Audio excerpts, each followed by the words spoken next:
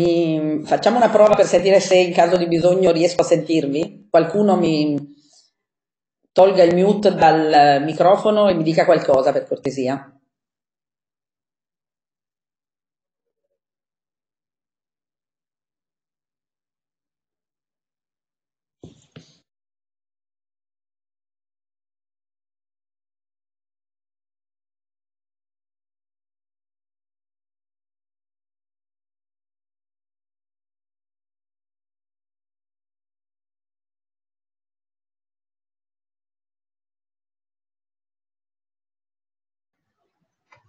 Salve prof, mi sente? Sì, ci sei? Sono Davide Bussolari. Bravo, ecco, grazie di aver risposto perché è abbastanza, poi ci abitueremo, ma è abbastanza eh, poco naturale parlare delle persone che non si sa se stanno sentendo È vero, è vero. in faccia, quindi eh, vedo che ogni tanto qualcuno si collega, qualcuno eh, esce dalla connessione, aspettiamo ancora qualche minuto, poi cominciamo. Ok. Posso, posso staccarmi? Certo, gli altri tengano il mute in caso vogliano fare domande, eh, uno, cioè, cercando di fare uno alla volta, potete togliere il mute e eh, fare domande come a lezione.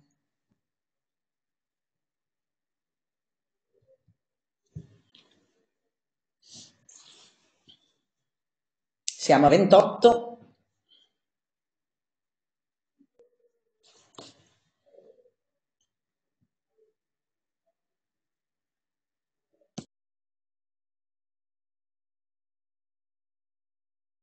Intanto comincio a, appunto, a darvi qualche informazione di tipo logistico, anche se non sono la prima ad aver iniziato a fare il corso in questo modo, quindi avete probabilmente più esperienza di me. Il, eh, la peculiarità di questo corso, a differenza degli altri, è che è un laboratorio. E quindi è evidente che eh, un laboratorio fatto in remoto non è esattamente immediato né da organizzare né da uh, ri- ripensare. Per cui in questo momento, adesso noi cominceremo con le lezioni che avremo comunque fatto in aula e sto pensando ad una soluzione nel caso questa situazione dovesse perdurare oltre i termini eh, descritti dall'ultimo decreto. E quindi insomma sto cercando di eh, pensare un modo per portare avanti il programma anche in condizioni un po' disgiate. Il motivo per cui vi ho chiesto di eh, se avete tutti disponibilità di un computer a casa, a parte il fatto che non stareste in questo momento qui collegati, però intendevo un computer che potete usare non semplicemente con un eh, browser o con un client di, per vedere delle immagini, e perché eh, stavo pensando che potremmo fare lezioni in dif- non in differita, ma insomma vi si danno gli esercizi, voi li fate e noi rispondiamo eh, su, o su questo canale o in parallelo su un paio di canali Skype alle vostre eh, domande man mano che siete in difficoltà con gli esercizi da fare. Questo durante l'orario di lezione. È ovvio che se si riesce a tornare in aula siamo tutti contenti, ci vediamo. In realtà forse tra qualche settimana una delle cose che desidererete di più al mondo è venire all'università eh, invece di stare chiusi in casa. Però finché non si può cercheremo di fare nel modo migliore possibile pur nelle condizioni in cui ci troviamo. Tenendo appunto presente che siamo il laboratorio, questo è il laboratorio del primo anno, nella sfortuna, la fortuna è che avessimo già finito le esercitazioni del laboratorio di dinamica, perché quelle onestamente, a meno di immaginarsi dei sofisticati sistemi di realtà virtuale con guantini, eh, occhiali e, e caschi multimediali, che peraltro non avrebbero portato poi agli stessi risultati, non riesco ad immaginare come avreste potuto fare la caduta del grave in remoto. Comunque, vabbè, io quasi quasi comincio pian piano, tanto non vi dico niente di particolarmente difficile oggi. Oggi parliamo dell'organizzazione del corso e poi, se come spero rimane tempo, comincio a raccontarvi qualcosa sulle basi minime di informatica che vi voglio dare, non perché questo alla fine di questo corso, di queste poche lezioni, voi siate degli esperti di informatica, ma per avere almeno una idea di base di che cosa ci sia dentro la scatola che state utilizzando quando utilizzate un calcolatore. Questa è la seconda parte del corso, come vedete nell'immagine che vi sto trasmettendo, ed è la seconda parte del corso è anche una evoluzione concettuale dell'approccio al laboratorio. Noi abbiamo fatto il laboratorio del primo anno in realtà utilizzando già sistemi informatici, però teoricamente avreste potuto analizzare i vostri dati a mano o con un normale calcolatore tascabile. Qui invece partiamo ad immaginare che le esperienze di laboratorio che voi avete fatto possano essere concettualmente dei, degli esperimenti veri e che i vostri dati possano essere immaginati poi in futuro come delle grandi quantità di dati che sono quelle che poi adesso si chiamano big data e di cui tutti, tutte le riviste e i giornali parlano. Quindi immaginiamo di avere delle grandi quantità di dati grezzi o perlomeno delle quantità non sufficientemente piccole da rendere poco noioso l'analisi dei dati grezzi che vogliamo analizzare utilizzando degli elaboratori elettronici io cerco di utilizzare nei limiti del possibile l'italiano per evitare che poi eh, non conosciate il significato delle parole inglese che utilizziamo in italiano. Gli elaboratori elettronici sono quelli che si chiamano comunemente computer, calcolatori, elaboratori, eccetera. I nostri laboratori elettronici servono a noi per risolvere problemi ovvero li utilizziamo per tutte quelle operazioni che ci semplificano la vita o meglio ancora ci permettano di fare cose che non saremmo in grado di fare con sistemi manuali. I problemi che noi vogliamo risolvere eh, con questi laboratori elettronici sono soprattutto problemi nuovi. Perché? Perché mm, sottolineo questo? Perché eh, per problemi banali o problemi già affrontati migliaia di volte esistono un sacco di pacchetti, pacchettini, software commerciali gratuiti che vi forniscono gli strumenti per gestire i vostri dati.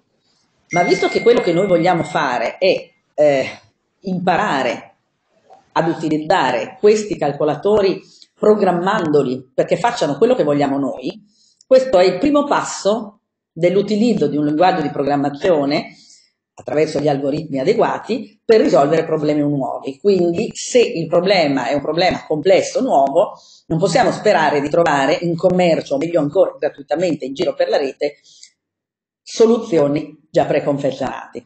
Ovviamente noi siamo al primo anno e quindi impareremo questi metodi per risolvere problemi vecchi, problemi semplici, piccoli e vecchi, ma il principio è lo stesso. Ho un problema da risolvere e trovo da solo gli strumenti per arrivare in fondo. Per fare questo quindi bisogna imparare a, costruire degli algoritmi attraverso un linguaggio di programmazione in quello che si chiama un ambiente di programmazione. Quindi l'utilizzo, molti tutti voi avete una assoluta familiarità con i computer di tutti i tipi, dal portatile ai computer fissi, dal cellulare a quelli che non sapete che sono computer ma che vi eh, permettono di, di, di, vivere tranquillamente. Se quando usate un microonde programmato dentro c'è un piccolo calcolatore, c'è un piccolo computer che fa quello che spingendo un bottone voi desiderate. Ecco, per poter arrivare a questo bisogna che qualcuno sappia programmarli e se voi volete risolvere problemi nuovi nella vostra futura carriera scientifica dovete imparare a, a fare anche questo. Ovviamente quello che noi faremo lo faremo legato al, all'anno di corso in cui voi vi trovate e quindi facciamo cose semplici per imparare strumenti che poi sono di base per tutto. Sono tornata su. Quindi gli obiettivi principali sono quelli di saper ottenere dei risultati significativi da un insieme, possibilmente grande, di dati grezzi che in inglese si chiamano raw. E bisogna, per fare questo, imparare a conoscere i principi e gli strumenti di base che, dei linguaggi di programmazione e degli strumenti su cui questi linguaggi di programmazione girano o rannano, come brutalmente si dice, che sono i nostri calcolatori. Quindi noi dobbiamo essere in grado di una volta capito quale sia il percorso, formalizzare una soluzione al nostro problema. So di solito, in ambito computeresco, il, eh, la soluzione a un problema si raggiunge attraverso quello che viene chiamato in modo eh, formale algoritmo, che suona pomposo, in realtà è, è semplicemente una successione, una o una successione di operazioni messe nel modo logico che portano ad un percorso definito e quindi al risultato finale. Questo algoritmo, che può essere concettuale, poi deve essere codificato in un linguaggio di programmazione attraverso, nel nostro caso utilizzeremo il linguaggio C e quindi apprendendo la sintassi del linguaggio C. Questo non è altro che un percorso che voi avete imparato a fare sin dai primissimi passi scolastici quando, mh, adesso voi sapete che io faccio sempre esempi estremamente banalizzati, quando alle elementari le maestre vi hanno insegnato a fare i pensierini. Voi dovevate scrivere, dovevate eh, fare un pensierino, fai il pensierino sulla mamma o sul tuo migliore amico. Quindi bisognava prima avere il pensiero, e quindi capire che cosa si vuole dire. E questo è l'algoritmo.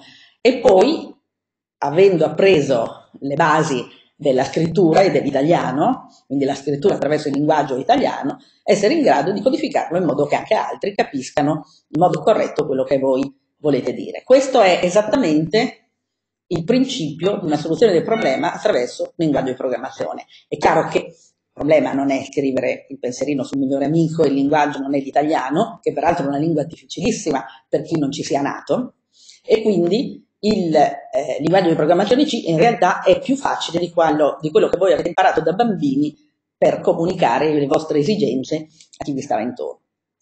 Ovviamente anche questo prevede un contesto e questa cosa va contestualizzata e per contestualizzarla, che significa utilizzare un calcolatore, utilizzare uno strumento, bisogna imparare a muoversi all'interno, con gli strumenti adeguati all'interno di questo ambiente di programmazione che troverete in laboratorio. Gli ambienti di programmazione saranno il sistema operativo del eh, sistema di calcolo che utilizzerete, che è Linux, il linguaggio di programmazione, che è C, e l'interfaccia, che è eh, le, quello che si chiama un editor, che vi permette di scrivere il vostro linguaggio in modo che il calcolatore possa poi acquisire le informazioni che voi gli date. Ovviamente tutto questo è necessario per poter utilizzare i principali semplicissimi algoritmi che sono tradizionali nell'ambito del, del calcolo. Se ci sono domande su queste cose, cosa dubito, ma insomma fatele liberamente, intervenite. Vado sempre nel verso sbagliato. Quindi questo secondo modulo noi che cosa facciamo? Impareremo che cos'è un sistema di elaborazione, un linguaggio di programmazione di alto livello, la rappresentazione dei dati, perché anche il modo in cui noi immaginiamo i dati. C'è qualcuno che doveva dire qualcosa? Dicevo, anche il modo in cui noi immaginiamo le parole e i dati non è necessariamente il modo in cui un sistema di calcolo utilizza le parole e i dati, quindi anche questo dovremmo imparare a, a, ad adeguarci e impareremo le basi del linguaggio C, cioè che cosa si intende per valore, tipo di variabile, costante, variabile, puntatori, tutte le istruzioni di controllo per fare, fare a, al programma di, che, di, calcolo che voi dovrete eh, fare quello che desiderate e non quello che vuole eventualmente il calcolatore. Il calcolatore non vuole nulla, è la, persona, è la cosa più stupida e terribilmente obbediente che avrete di fronte. Pertanto, se il programma produce risultati diversi da quelli che voi vi aspettate è perché sta obbedendo a dei comandi mal, mal presentati o sbagliati o diversi da quello che voi immaginavate fossero. Quindi poi imparerete il principio delle funzioni, vettori, stringhe, gestione dei file esterni. Tutto questo man mano, quindi non facciamo ovviamente, soprattutto senza neanche guardarci in faccia come siamo adesso, un lungo elenco di eh, regole e di comandi, perché sarebbe noioso alla morte, anche per me, non solo per voi che ascoltate, ma cerchiamo di imparare facendo, quindi ogni volta tutti questi costrutti si impareranno un po' alla volta, ogni volta ci sarà qualche cosa di, eh, di nuovo dal punto di vista del linguaggio e applicato a un, qualche, a un problema da risolvere ogni volta un pochino più complesso. Problemi da risolvere che saranno sostanzialmente gli stessi che voi avete applicato durante la prima parte del, eh, del corso, quindi farete voi i programmi per analizzare dal punto di vista statistico i dati che avete acquisito in laboratorio. Quindi facendo questo, un passo alla volta, acquisirete, spero, i principi fondamentali di costruire un progetto e sviluppare degli algoritmi, applicandolo ai metodi dell'analisi dei dati. Poi vedete che se, se state guardando le, le slide, vedete che c'è qualcosa scritto in italico o slanted, cioè rielaborazione di relazione del laboratorio di dinamica e metodi di simulazione numerica. Il commento in grigio è, è dovuto alla situazione complessa in cui ci troviamo. Io spero di arrivare a fare anche questa parte del programma, però potremmo essere, eh, potremmo essere un po' in difficoltà. Comunque sostanzialmente tutti i metodi dell'analisi statistica conto di farli, Potrete voi decidere se farlo man mano, quello di rielaborare le relazioni del laboratorio di dinamica come verifica de, de, di volta in volta di quello che eh, avete fatto. Per quello che riguarda i metodi di simulazione numerica non sono sicurissima di riuscire ad avere il tempo, a meno che il sistema di, di esercitazione a distanza non funzioni molto bene, in tal caso andiamo avanti, potremmo introdurre, in caso ci manca tempo, anche proprio l'ABC il, eh, le basi embrionali di una mm, branca infinita dell'informatica e del calcolo numerico che sono tutti i sistemi di simulazioni partendo da numeri pseudocasuali. Ma questo vedremo di farlo man mano.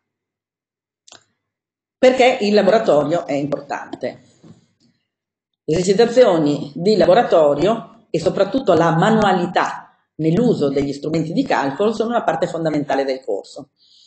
Il, eh, questo è vero anche per la prima parte del laboratorio. Se io vi racconto a lavagna che facendo cadere la pallina passa attraverso i traguardi, voi prendete i tempi e tutto viene magnificamente, eh, avete, se siete diligenti, avete ascoltato con cura, avete appreso una metodologia, ma non avete potuto toccare con mano le difficoltà anche banali che possono incontrarsi in non compiere operazioni così semplici.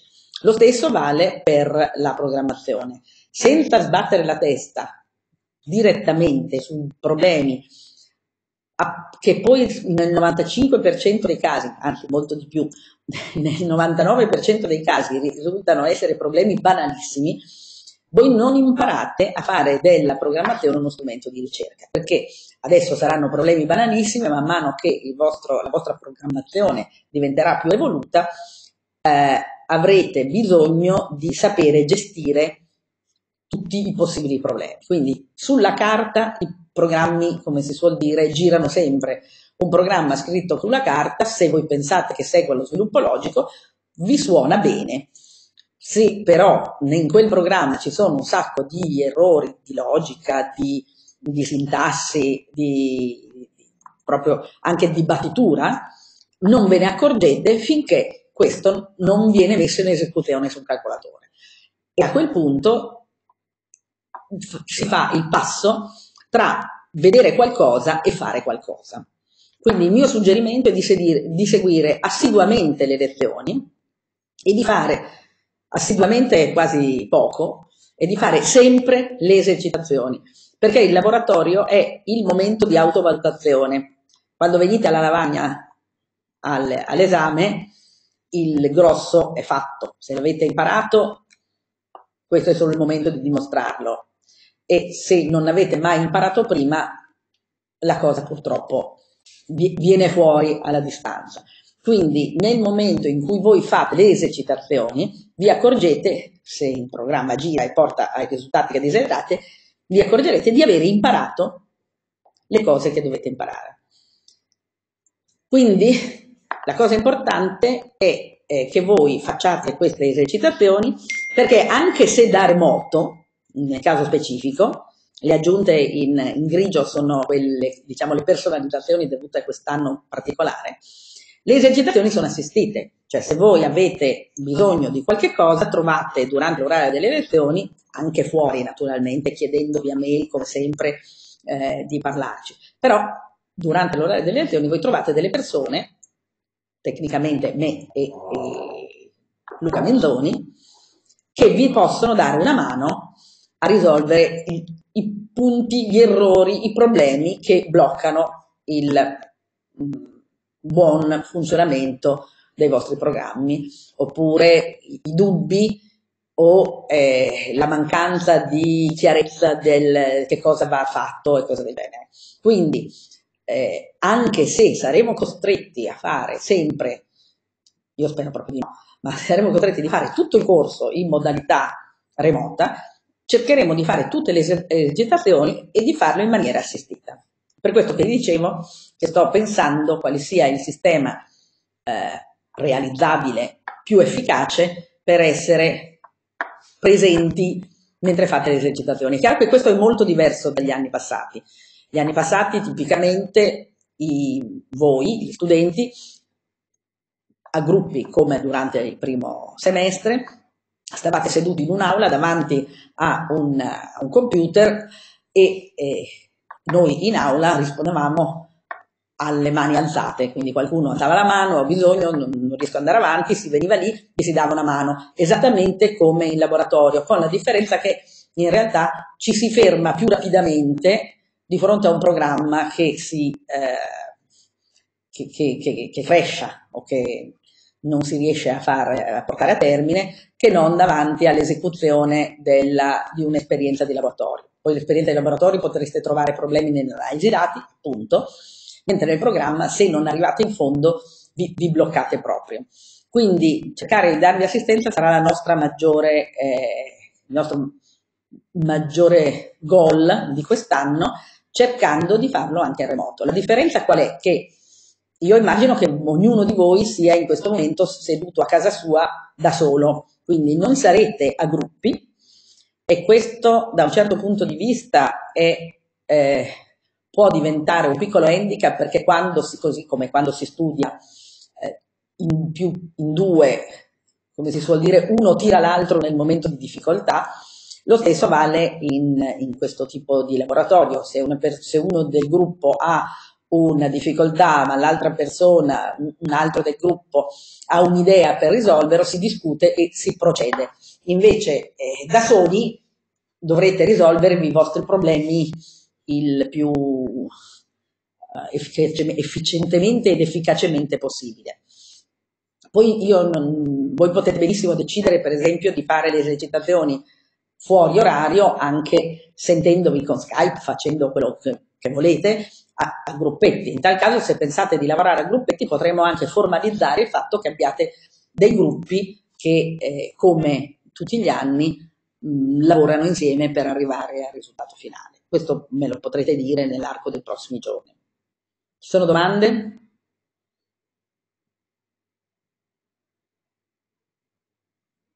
Vale sempre Continuo? Se nessuno interviene, io procedo non è che mi state scrivendo qua, no. Allora, logistica del laboratorio. Come vi dicevo, il formato di quest'anno, la logistica del laboratorio per il 2020 è questo. La parte iniziale molto breve di lezioni da remoto. L'utilizzo in, eh, in laboratorio, che in questo caso è un laboratorio virtuale, di un computer, PC, su cui gira Linux, possibilmente o quello che volete, purché siate in grado di collegarvi al server dedicato, server centrale che sta qui in dipartimento e eh, che è dedicato al corso attraverso un sistema operativo Unix che utilizza un sistema operativo Linux sostanzialmente, Unix-like.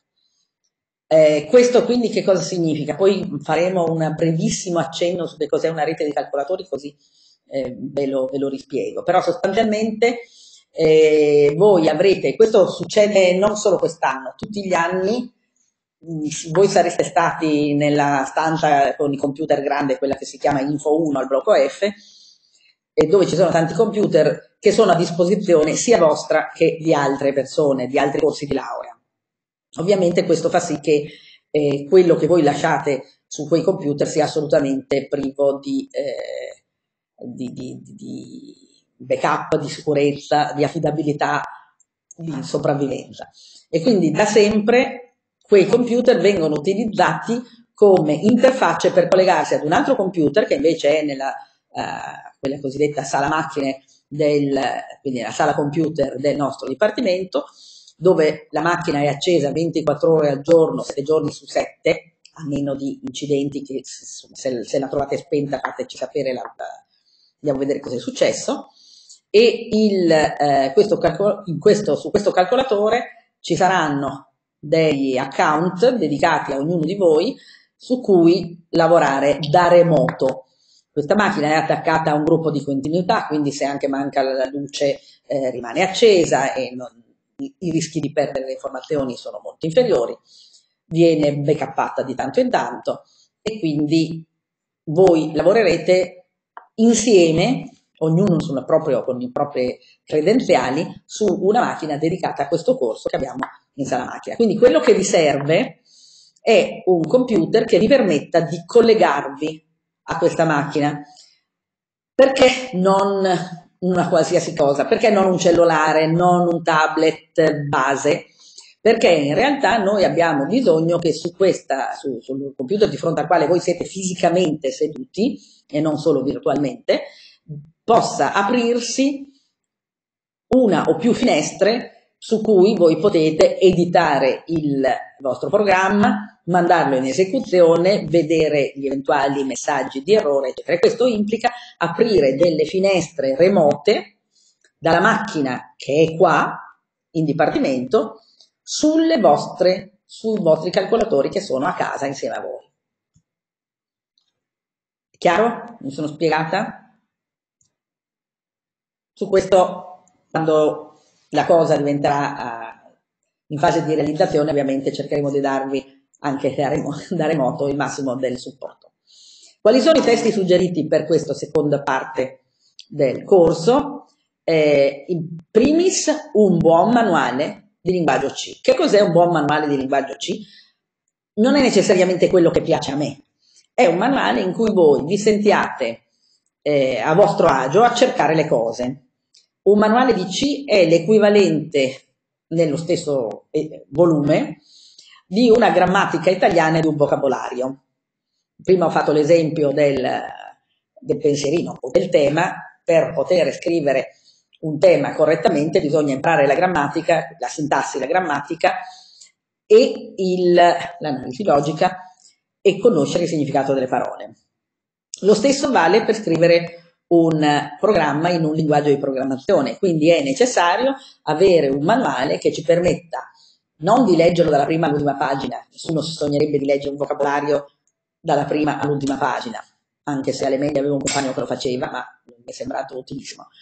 Ma il, eh, quello che voi dovete fare è poterlo consultare quando avete bisogno di fare qualcosa e avete necessità di controllare quale sia la sintassi corretta, quali siano le forme verbali, chiamiamo così, quindi quali siano i comandi giusti da utilizzare in, eh, nel linguaggio che state utilizzando. Quindi eh, quello che deve essere deve essere non infinitamente verboso, perché altrimenti vi perdete in centinaia e centinaia di pagine per trovare quello che cercate, deve avere un indice analitico, è vero che se lo utilizzate in, in uh, formato elettronico potete sempre fare un search sul PDF, però bisogna avere idea di che cosa si cerca. Nell'indice analitico tipicamente si leggono le, le proposte e si va a vedere se quello che si trova corrisponde a quanto si stesse cercando. Quindi eh, ci sono un certo numero di, di, di, libri di C in giro per il mondo, ce n'è uno base che si chiama il linguaggio C ANSI di Cunningham e Ricci, che è il, è quello che poi utilizzano tutti quelli che programmano in C, anche se adesso si sta, ci si sta evolvendo verso G++, come consultazione anche da, da grandi. In realtà ce ne sono tanti altri un po' più semplici. Questo non è semplice, è un linguaggio che parte dal, è un manuale che parte dal presupposto che eh, qualcuno sappia già cos'è un costrutto di programmazione e lo voglia scrivere in C. Questo somiglia un po' a un vocabolario di uno che ha, sa già scrivere ma vuole scrivere in un'altra lingua.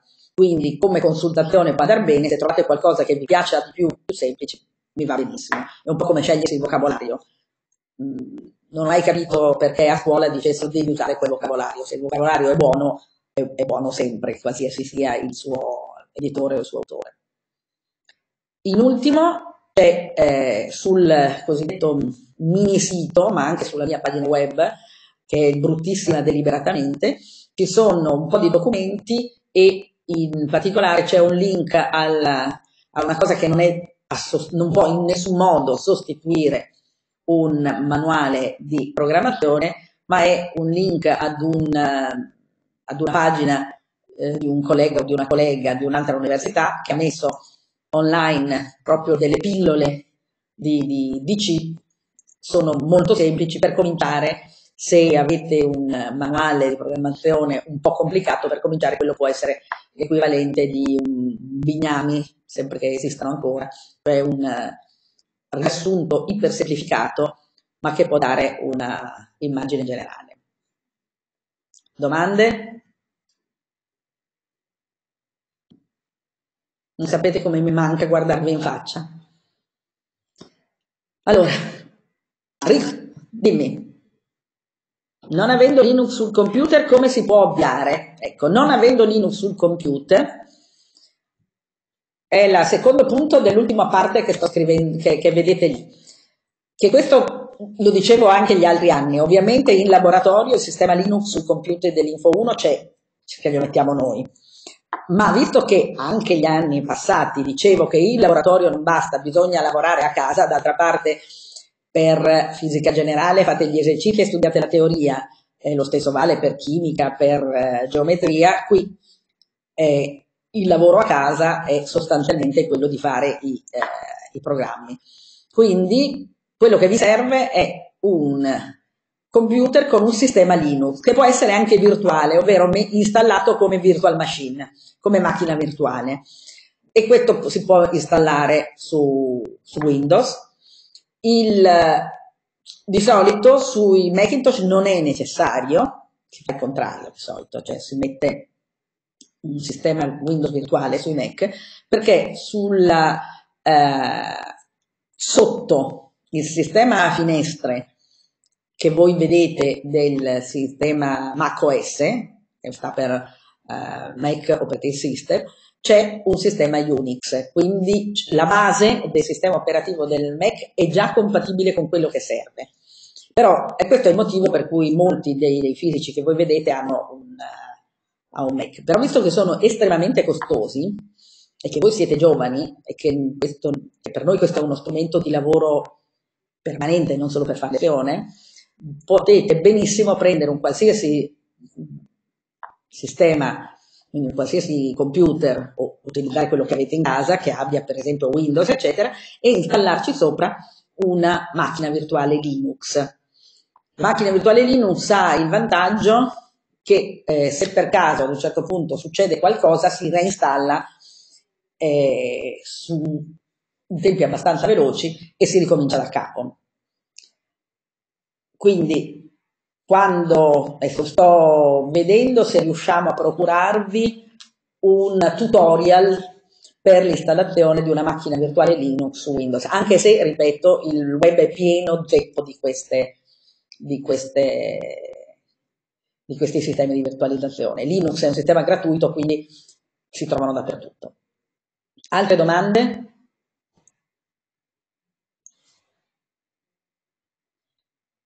Vi dicevo di lavorare da casa, quindi voi potete fare due cose che non si escludono mutuamente. Mettere la macchina virtuale sul vostro calcolatore e sì? Quindi per il Mac basta installare un'applicazione? No, non c'è nemmeno bisogno di installare l'applicazione. Aprite quella cosa che probabilmente chi ha il Mac non ha mai usato, che è una finestrina nera o bianca che si chiama Terminal e da lì ci si ritrova nelle condizioni in cui sareste su quello che io vi chiedo di utilizzare con la macchina virtuale Linux. Quindi non, c'è bisogno di mettere un'applicazione. Il problema mi viene, ogni tanto mi viene da sorridere. Il problema è della vostra generazione, non, non questo anno, ma diciamo de, de, de, degli ultimi anni, è che avete un, una confidenza assoluta con calcolatori anche molto sofisticati, ma non avete la confidenza con quello che sta sotto le, eh, i prodotti che siete abituati a vedere, perché le applicazioni non sono altro che la, la, la, visione superficiale, nel senso che sta a galla, sotto c'è un sacco di altra roba, come la punta dell'iceberg, di sistemi di programmi molto complessi che vi permettono di utilizzare in maniera semplice il vostro uh, sistema, però in maniera semplice finalizzata all'uso di quell'applicazione.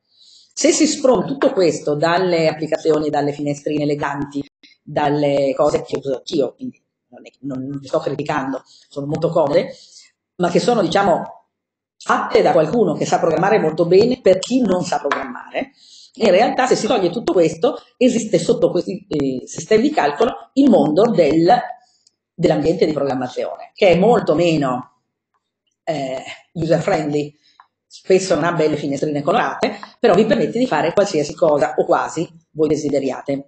E quindi per questo la differenza tra un'applicazione e un ambiente di sviluppo è, è proprio questa, l'ambiente di sviluppo, l'ambiente di, di, programmazione è più, più rude e, eh, è più efficace. Insomma, è come andare in montagna in elicottero o andarci a piedi. Chiaro che in elicottero ci si fa meno fatica e si arriva veloci. Però l'elicottero non può appoggiarsi in qualsiasi gola, in qualsiasi bosco, o, eh, e quindi insomma ha delle limitazioni, mentre andando a piedi si fatica, però si arriva dappertutto. Spero che vi piaccia andare in montagna, perché altrimenti vi ho tolto il piacere di proseguire su questo, su questo percorso. Tornando a noi, avete sempre accesso al calcolatore. Come dicevo prima, il calcolatore di laboratorio, quello che è qua, è accessibile sempre, anche fuori dall'orario di lavoro, quindi se voi, visto che non potete uscire o quasi, adesso i ristoranti sono chiusi, ma sono chiusi, se non sapete cosa fare dopo cena, to, vado, a fare, vado a vedere se il programma che ho scritto eh, sul mio calcolatore funziona come deve sul calcolatore di riferimento che è quello che abbiamo in, qua da noi. Quindi voi potete editarlo lì e poi provarlo, sulla, eh, trasferirlo sulla nostra macchina, oppure lavorare direttamente in remoto sulla nostra macchina. Queste sono le due possibilità. Di solito quando siete in aula io vi faccio lavorare direttamente sulla nostra macchina, però è chiaro che questo dipende dalla rete, qui siamo sulla stessa rete e, e, e da casa potrebbe essere un po' più scomodo. Come vi dicevo, il supporto didattico viene dato da, da Luca Menzoni, se avete bisogno di scriverci, ci scrivete sulla, uh, sui nostri indirizzi di posta elettronica come sempre. Vi darò, se come penso utilizzeremo anche Skype per rispondere in modo da farlo in parallelo, perché altrimenti qui se, se due gruppi vogliono eh, avere informazioni, o parlo io o parla Menzoni, e invece nel, nel, senso che possiamo anche parlare tutti ma poi si fa confusione e non ci si sente, invece pensavamo di lasciare acceso questo e di avere due dei nostri computer personali con Skype acceso in modo che eh, si possano fare le, i dialoghi come quando si viene alla cattedra a chiedere qualcosa sostanzialmente. In questo caso vi daremo anche i nostri account Skype. Ci sono domande? Procedo? Vado avanti. Grazie per un sì sì ogni tanto. Valutazione, questo è un reminder con modificazioni dovute alla circostanza. Ovviamente è obbligatorio consegnare tutte le esercitazioni funzionanti. Cosa significa? Significa che vi daremo, vi darò la procedura per memorizzare il programma che voi avete deciso che è finito e che funziona, l'equivalente della relazione, perché dovrà essere anche commentato, dentro una uh, parte della vostra memoria che sta sul computer qua, quindi una specie di, di, di casellina in cui voi mettete i vostri programmi funzionanti. E quando avrete consegnato tutte le esercitazioni funzionanti, come avreste, avete fatto o avreste dovuto fare per quelle di laboratorio, potete fare l'esame finale. L'esame consta, o consterebbe di una prova scritta di ammissione molto sintetica che viene fatta nella stessa data della prova pratica di laboratorio. Vedete che è scritta in grigio pallido e questo non perché eh, mi sia scappato il, il colore sull'editor, ma perché questa parte, nella ipotesi che non voglio immaginare, ma devo tener conto possa essere vera, in cui eh, dovessimo eliminare gli iscritti, ovviamente non si potrà fare. A questo punto vale il, nota bene in fondo. Se la situazione inusuale ci dovesse impedire di fare la prova pratica di esame e quindi anche lo scrittino, per quest'anno faranno fede le esercitazioni consegnate. Val, val, per, questo discorso vale per tutto il corso, non solo per la parte del secondo semestre. Quindi, come avrete visto, quelli che si erano iscritti alle prove pratiche eh, non hanno potuto farla del preappello perché non si poteva fare eh, gli esami in presenza. Se la cosa cambierà, ovviamente ci saranno gli appelli delle prove pratiche e del test di, di la prova scritta di ammissione di programmazione normalmente. Nel caso, questo ve lo dico adesso perché così vi, vi tenete pronti, nel caso questo non fosse possibile, dovessimo fare solo esami orali, allora utilizzerò per dare una valutazione di quella che sarebbe stata la valutazione della prova pratica le esercitazioni consegnate durante l'anno. A chi non l'ha ancora consegnate chiedo quindi di farle, di farle bene, di, di consegnarle e farle bene, ovviamente eh, non che la cosa possa trasformare in un dramma, si possa trasformare in un dramma, ma il fatto che c'è una percentuale elevata di persone che hanno consegnato tutto nei tempi è sicuramente una nota di merito per chi lo ha fatto.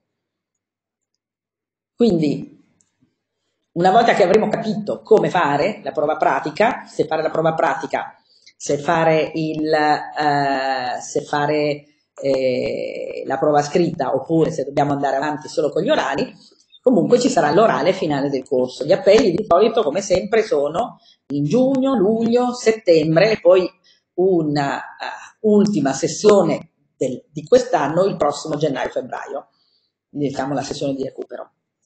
Domande su questo? Vado avanti.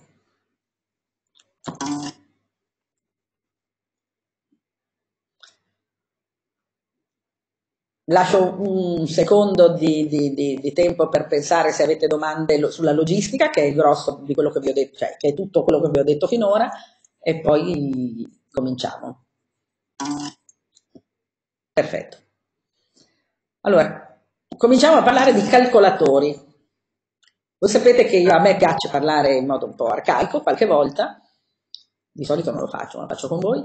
Il, eh, quindi calcolatore che cos'è? È qualsiasi cosa voi chiamiate computer, eh, sistema di calcolo, PC. PC in realtà è, è la versione riduttiva di calcolatore perché sta per personal computer quando si parla per esempio dei computer di Google o semplicemente i computer che si usano nei nostri centri di calcolo sia in Italia che uh, al CERN o negli Stati Uniti, eh, non sono più PC, sono sistemi di calcolo complessi composti da un certo numero di computer o calcolatori. Partiamo proprio dalla base, base, base. Che cos'è un calcolatore? Che si chiamano anche calcolatori digitali, Calcolatori digitali sono strumenti che permettono di gestire informazioni codificate utilizzando dei numeri. Tutte le informazioni sono codificate utilizzando dei numeri che si chiamano digits, da lì i termini digitali. Anche quando voi adesso siete ovviamente abituati a pensare alla, alle macchine fotografiche, sono tutte o quasi solamente qualche romantico raffinato usa ancora le pellicole analogiche per fare una fotografia, Di solito tutte le macchine sono digitali, sono digitali quelle nei nostri cellulari, sono, eh, è digitale la, il segnale della televisione che ci arriva in casa tu, tutti i giorni. Significa semplicemente che il, eh, il segnale di informazione che viene trasferita o gestita è un'informazione codificata utilizzando dei numeri. Nel caso specifico, questi numeri sono due. Quindi sono, è per questo che si chiamano, si, si dice che si utilizza un sistema binario. Il, I numeri con cui si codifica l'informazione di un calcolatore sono numeri binari e si chiamano bit, che sta per binary, è la crasi di binary digit. Come li possiamo immaginare? Possiamo immaginare che siano delle eh, degli insiemi di uni e zeri, che sono quelli che si vedono nella rappresentazione standard di tutti i, computer, anche vecchia maniera. Questi in realtà possono corrispondere anche a un interruttore acceso-spento, cioè l'esistenza o meno di un segnale. Si può considerare che abbiano, si può considerare un sistema binario un sistema costituito da eh, una tensione sopra o sotto una soglia di un certo valore. Questo succede per esempio negli standard di comunicazione di laboratorio. Possiamo considerare un, un condensatore scarico o un condensatore carico. La magnetizzazione sopra una certa soglia o sotto una certa soglia di un oggetto magnetico. Quindi tutto quello che può essere visto come eh, diviso in due parti, un segnale che possa essere visto come c'è, non c'è, esiste, non esiste, 0, 1, è un bit. Qualcuno di voi potrebbe dire, ma io ho sentito parlare anche di nuovi, di, di, di nuovi computer che non si basano solo sui, sui bit. Eh, stiamo parlando dei, giusto per dirvi che, che, che esistono, in realtà non, non, li usiamo, non li usate, esistono adesso, esiste una forma di, di, di linea di ricerca sempre più realizzabile di calcolatori quantistici un calcolatore quantistico non lavora più o non lavorerà più utilizzando i bit, ma utilizzando degli stati di, eh, sovrapposti che possono tra di loro eh, comunicare di segnali binari. In questo caso però il fatto che di considerarli diciamo a pacchetti il, eh, il, bit non si chiama più bit, si chiama qubit, non, non, c'è scritto niente di questo perché non fa parte del programma, sto parlando, vi sto dando solo un po' di informazioni accessorie. Il qubit ha delle caratteristiche però quantistiche e quindi eh, si entra nell'ambito del probabilistico e la gestione dei, eh, dei bit questo, dei, dei qubit è decisamente ancora a livello sperimentale quindi noi per il momento, ancora per un bel po', per tutto quello che riguarda il lavoro normale, andremo avanti con i calcolatori binari. Poi se il, l'industria e soprattutto la ricerca nell'ambito dei, dei calcolatori quantistici sarà, darà risultati veloci, allora avrete il piacere di poter vedere eh, nascere ed utilizzare calcolatori che battano, che si basino su principi diversi. Tornando al, alla VC, il, eh, i nostri bit sono, sono solo due. È assai complicato rappresentare tutto il mondo semplicemente con uno 0 con un 1, se non accorpiamo in modo da separare il significato di, di, di questi 0 e 1 per trasformare le nostre informazioni che sono codificate. E quindi il primo accorpamento si chiama byte ed è una sequenza di 8 bit anche 8 bit sono pochi, vedrete la permutazione di 8 bit non ci dà numeri elevatissimi, e quindi si è passati all'utilizzo di eh, quelle che si chiamano parole o word, ovviamente, di un calcolatore, che sono gruppi di byte, tipicamente sono potenze di 2, quasi sempre sono potenze di 2. In passato ci sono stati alcuni calcolatori che avevano parole che non erano potenze di 2, ma è perché pecciavano due parole per farle sembrare più grandi, vicine, quindi si mangiavano un po' di bit per collegare tra di loro le due parole. Immaginate di avere eh, due pezzi di carta, so, da 32 bit e volete farne un pezzo da 32 centimetri, volete farne uno più grande, quello che potete fare è incollare gli ultimi due centimetri dell'uno e gli ultimi due centimetri dell'altro per farli stare insieme e a questo punto quello che voi ottenete è una striscia di carta da 60 centimetri o da 60 quadretti, insomma. Questo è quello che è successo, però stiamo parlando di, di, degli anni 80. Tipicamente le parole sono raggruppamenti di byte che ci permettono di mettere dentro la stessa stringa, dentro lo stesso insieme, numeri più grandi, informazioni più grandi, che permettono al calcolatore di andare più veloce. Perché? Perché la parola è, ha un significato non semplicemente di accorpamento, perché uno, uno può dire le accorpo, quanti me ne servono. La parola è il numero di bit che il processore, quindi che l'elettronica che compie le operazioni è in grado di gestire in un unico passaggio, in un'unica operazione. Quindi quando voi sentite parlare di calcolatori a 64 bit o a 32 o a 128, in realtà state eh, avendo a che fare con processori, quindi con calcolatori all'interno del quale c'è un processore che è in grado di compiere un'operazione su un pacchetto di bit di 32, 64, 128 o quello che volete, bit alla volta. Quindi si chiama parola perché è caratteristico del tipo di processore che voi state utilizzando. Ed è il fatto che siano potenti di 2 vi potrà essere abbastanza chiaro del fatto che eh, avete a che fare con delle eh, caselline, quindi con dei numeretti che possono avere solamente due eh, due possibili eh, valori e quindi la potenza di 2 torna, torna comoda. Quali sono i compiti di un calcolatore digitale? Quello di eseguire operazioni logiche oppure eseguire operazioni numeriche, oppure cercare di fare un'operazione logica all'interno della quale vengono fatte delle operazioni numeriche. Come vi dicevo un attimo fa, cioè insomma un po' di minuti fa, la eh, caratteristica dei calcolatori è che sono molto veloci, tanto più veloci quanto sono più nuovi, ma sono eh, e sono infinitamente obbedienti. Non sono tuttavia particolarmente intelligenti. Quando si parla di intelligenza artificiale, ricordatevi che si parla sempre di programmi che si comportano in modo da far diventare intelligente il calcolatore.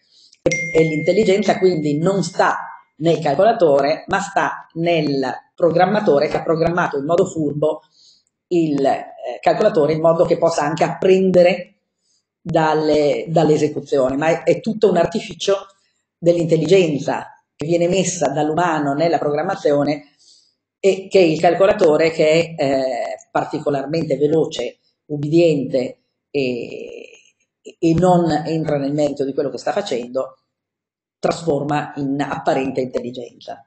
Cioè, ancora, voi siete molto giovani, non so se avete mai visto 2001 Odissea nello spazio, però ancora per fortuna al calcolatore HAL che decide di fare quello che vuole e fare fuori gli umani nella stazione spaziale, ancora non siamo arrivati. Anche se abbiamo qualche cosa in casa che assomiglia tipo Alexa e cose del genere. Allora, cosa succede? Perché vi ho detto che sono veloci ma non intelligenti in senso stretto? Perché in realtà sono in grado di fare un numero tutto sommato piuttosto limitato di operazioni elementari, che possono diventare complesse nel momento in cui eh, questa operazione complessa viene spezzata in operazioni più semplici. Quindi il calcolatore è molto veloce, conviene dividere una singola operazione complessa in molte operazioni eh, elementari perché comunque vengono eseguite molto velocemente e il tempo che passa è trascurabile rispetto all'effetto di semplificazione di avere il programma che fa queste operazioni, il, il processore che compie queste operazioni semplici. Adesso lì vedete un disegno di un computer di media, cioè personal computer, che usiamo come esempio di che cosa può essere nostro, la struttura hardware elementare di un calcolatore. Se voi vedete c'è un cerchio rosso, questo, che descrive, in realtà circoscrive l'unica cosa che è veramente utile e necessaria, cioè utile tutto, ma che è veramente strettamente necessaria un, eh, nella struttura hardware di un computer, tutto il resto sono periferiche. E periferica vuol dire che si può, anche se uno dice tutto sommato di una tastiera potrei averne bisogno, ma in realtà ci sono uh, processori, ci sono computer che funzionano bene e fanno il loro mestiere anche senza avere una tastiera, un video, una stampante attaccati. Comunque sostanzialmente che cosa c'è? Il cuore dentro questa scatola, che cosa abbiamo? Abbiamo la parte fondamentale che uno può immaginare come il cuore o il cervello del nostro, se lo si vuole umanizzare, del nostro elaboratore che si chiama CPU, Unità di Elaborazione Centrale, Central Processor Unit. Questa comunica, questa è quella che fa il lavoro vero, quindi che esegue tutte le istruzioni. Dentro questa CPU devono passare tutte le nostre parole per essere elaborate. Questa comunica con il resto del sistema attraverso queste cose che sembra, sembrano due righe, in realtà sono connessioni eh, fisiche, tipicamente sono piste di rame, piste di, con, di, di, conduttore, eh, che hanno una importante eh, funzione, quella di far passare i bit in parallelo, quindi se, una, se un processore per esempio ha 64 bit, il bus dovrà tener conto che per la, per la sola parte della parola, poi ci sono un paio di, un po' di connessioni di controllo, dovranno esserci 64 conduttori che girano in parallelo altrimenti la lavorazione diventa infinitamente lenta. Attraverso questo bus di sistema, la, uh, il processore, l'unità di elaborazione centrale, la CPU, comunica con la memoria centrale, che è la memoria di lavoro, quindi quella su cui vengono memorizzati tutti i dati, i programmi e anche i programmi che fanno parte del sistema operativo, che poi devono essere passati attraverso la unità di elaborazione attraverso la, la CPU.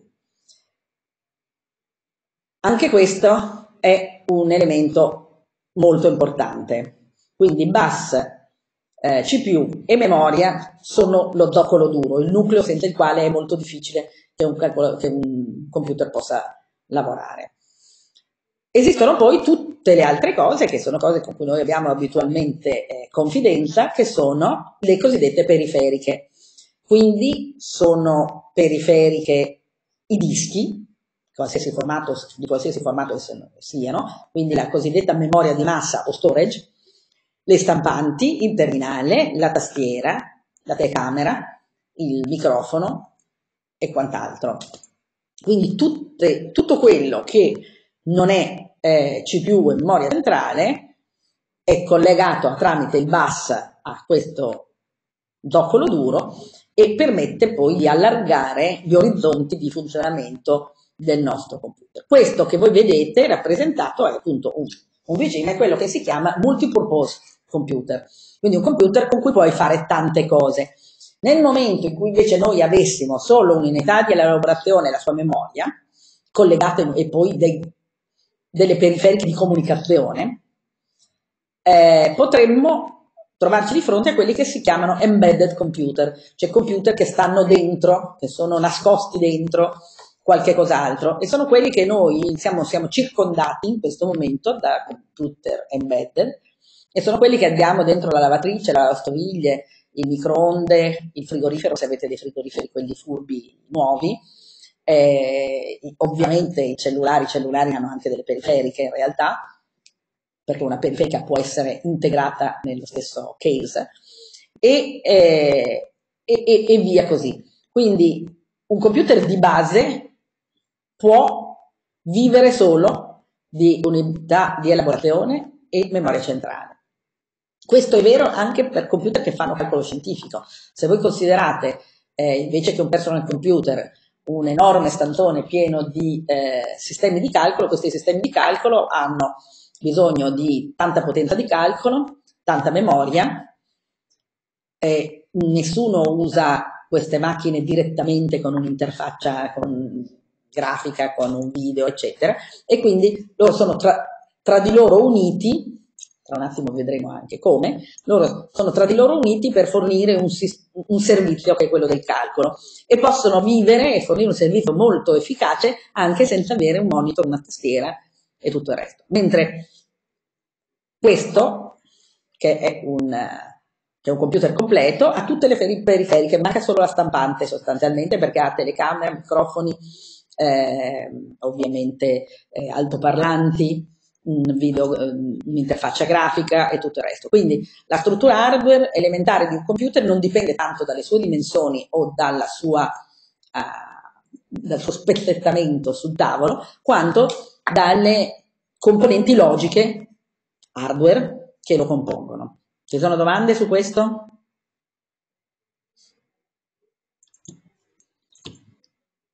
Vado avanti. Qualche volta sì? Qualche volta eh, ho avuto occasione di portare in aula anche un computer aperto per farvi vedere cosa c'è dentro.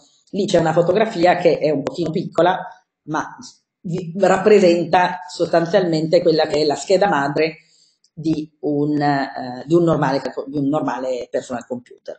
Se voi vedete quelle cose verdi quelle barre verdi, sono i eh, connettori per attaccarsi al bus delle periferiche e come vedete tanti, sono lunghe e strette perché hanno in realtà tanti piccoli conduttori per arrivare, per, tipicamente queste immagino che sono 64 bit e quindi deve avere dentro uh, tante, tante connessioni quante sono quelle necessarie a portare tutti i dati. Tenete conto che quando voi prendete per esempio un connettore, cioè, è un connettore anche il, questo qua, non so se lo vedete, questo è un connettore da uh, videoproiettore e ne avrà, adesso sto guardando occhio, non mi ricordo qual, questo standard quanti ne abbia, insomma queste sono una decina di connessioni.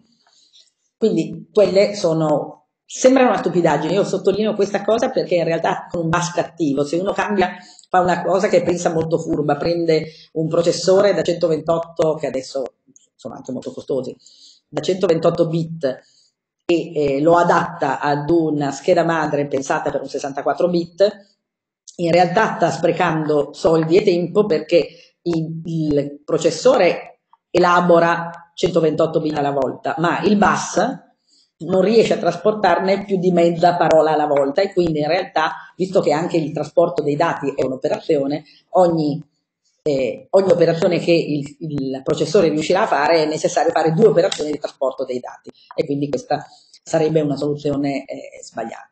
Quindi riepilogando che cosa fa un'unità di elaborazione, esegue, lì, tutte le istruzioni di un programma qualsiasi presente nella memoria centrale, che viene chiamata anche memoria primaria, dopo averlo prelevato dalla memoria di massa o secondaria o da altri dispositivi.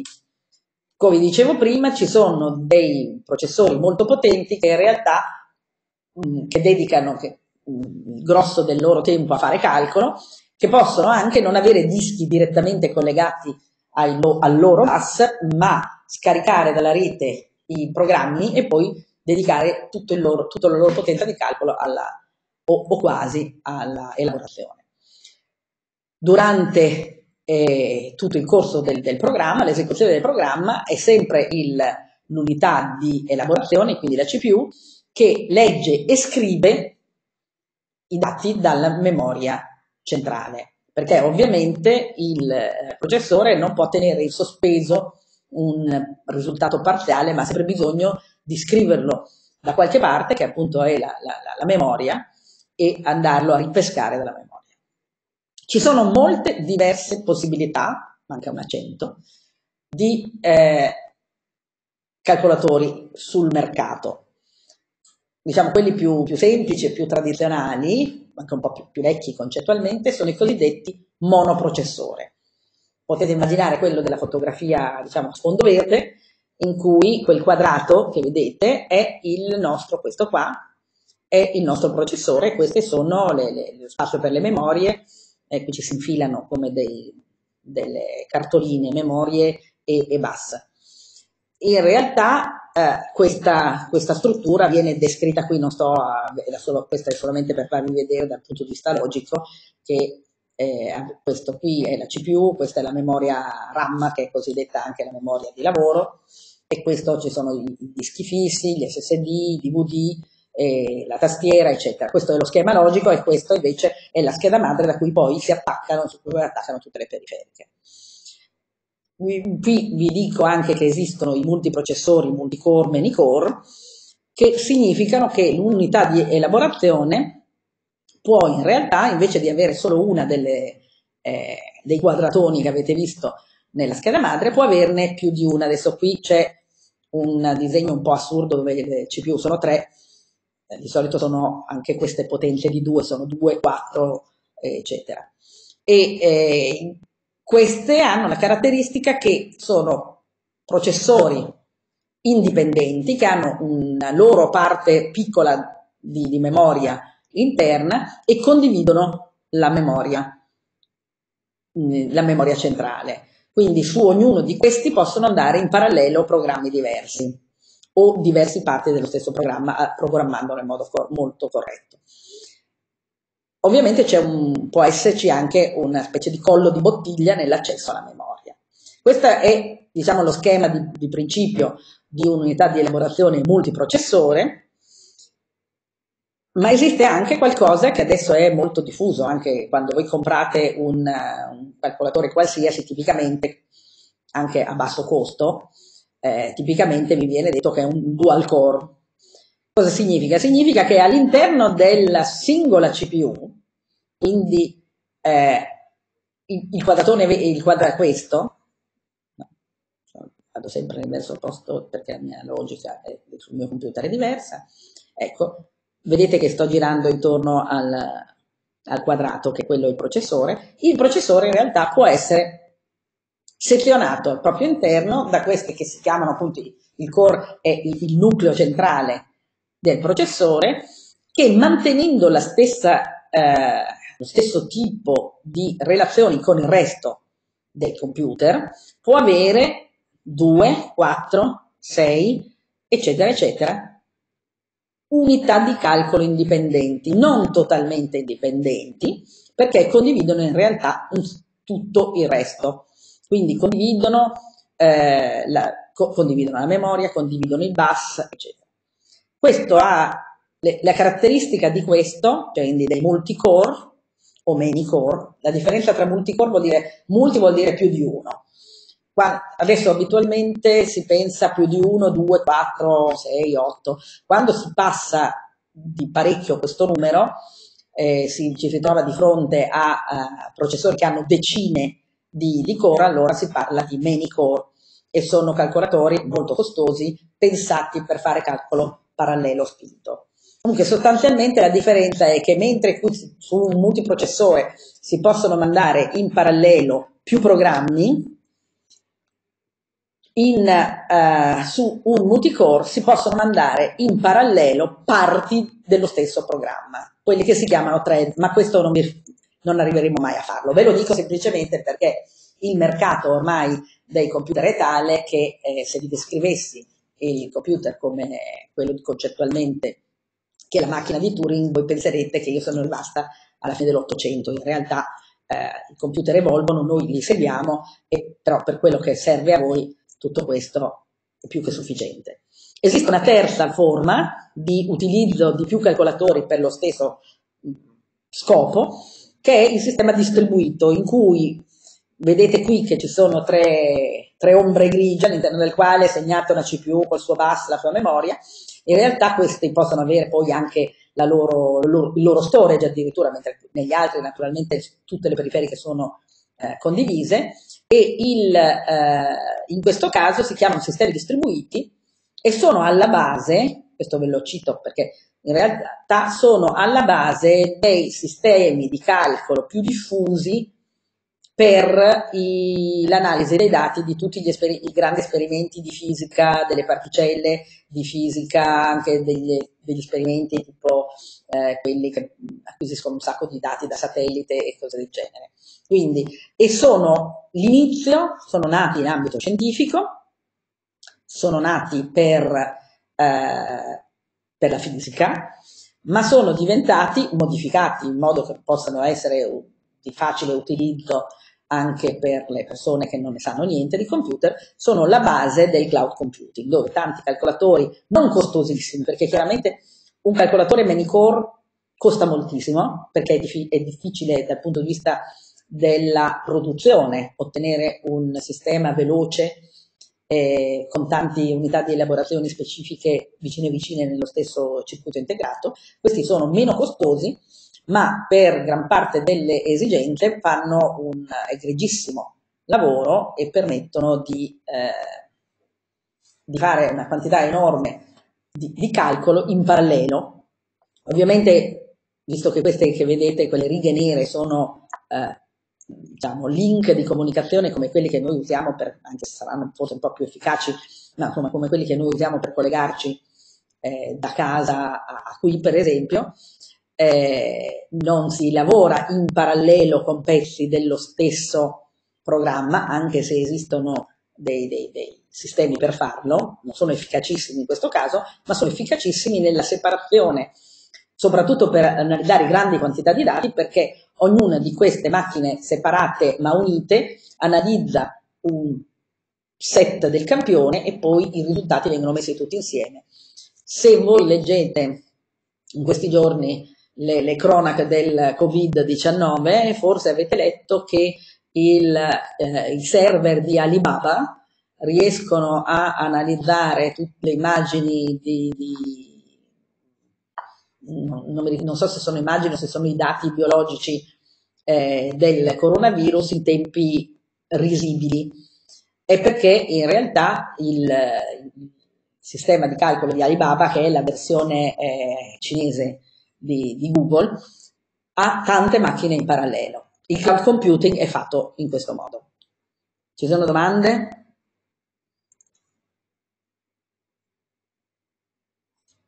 Vado avanti? Io mi rendo conto, tra l'altro, che siamo in una situazione diversa. Grazie. Perché mentre il, eh, quando siamo in aula, se uno ha sete, vuol far merenda, eh, prende il... Eh, aspetta che si faccia una pausa, in realtà voi potreste prendere il tè mentre io parlo. Quindi io continuo ad andare avanti, va bene?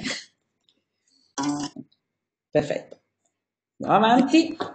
Abbiamo parlato di processori, adesso parliamo di gerarchie di memoria. Abbiamo visto prima accennato al fatto che ci sono... Allora metto sul caffè, peccato di non poterlo prendere. Allora, dicevo, il, eh, le gerarchie di memorie sono... Mm, vi faccio notare che anche nel disegno di prima, vediamo se torno in su o sbaglio, ecco, torno in su, qui vedete che c'è scritto CPU, registri, cache, CPU MEM, perché questa è più schematizzata, la CPU qui ha anche le sue memorie. Quindi la differenza è che eh, il singolo processore ha bisogno per essere efficace e, e veloce di una parte di memoria molto vicino a se stessa, parlo proprio di vicinanza fisica, cioè con connessioni molto corte, eh, che è quella che si chiama la memoria cache. La, la prim- il primo livello, il livello zero della memoria cache, di solito sono dentro il cippone della CPU. E poi se ne possono avere di, di esterni, ma sempre ad accesso molto veloce. E fanno parte della CPU, è il posto dove viene eh, memorizzata la parte di informazioni che sono per essere, sono state immediatamente o stanno per essere messe in esecuzione sul processore. Poi eh, il secondo livello di gerarchia è quello della memoria centrale, che è quello che dicevo, che è dove gira il sistema, dove voi tenete contemporaneamente il sistema operativo, i programmi che avete sul desktop e, e tutte queste cose, e che è esterna alla CPU, connessa alla CPU tramite il bus e quindi perde, diciamo, ha bisogno di un po' più di tempo l'informazione per essere eh, messa in diretta comunicazione con la CPU nel senso del tempo fisico che i bit passino, che il, gli elettroni passino sulla, uh, sulla pista di, di, rame. E poi c'è la memoria di massa, che sono i dischi esterni, i DVD, le pennette, eh, eccetera. Tipicamente ci sono queste, eh, c'è questa piramide, che è una piramide sia di importanza sia di dimensioni, le quali sono inversamente proporzionali al prezzo.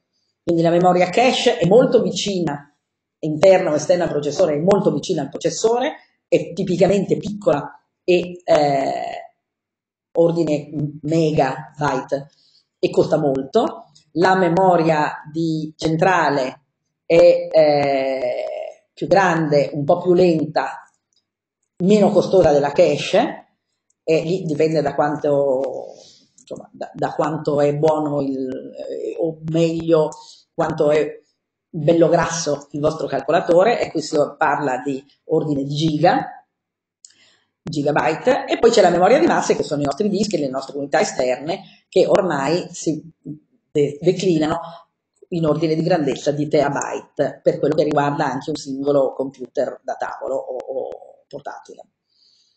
Perché vi ho detto questo? Perché io sto raccontandovi queste cose? Perché in realtà quando voi lavorerete sui vostri programmi, anche se poi nel momento del panico del programma che non gira, oddio come si fa la tal cosa, tecnicamente eh, perdete un po' della lucidità necessaria a ricordarvi che cosa state facendo davvero, perché non la vedete questa roba. In realtà voi dovete sempre pensare che i vostri dati sono memorizzati, i vostri programmi sono memorizzati sulla memoria di massa, quando, così, quando il calcolatore è spento nessuno li perde.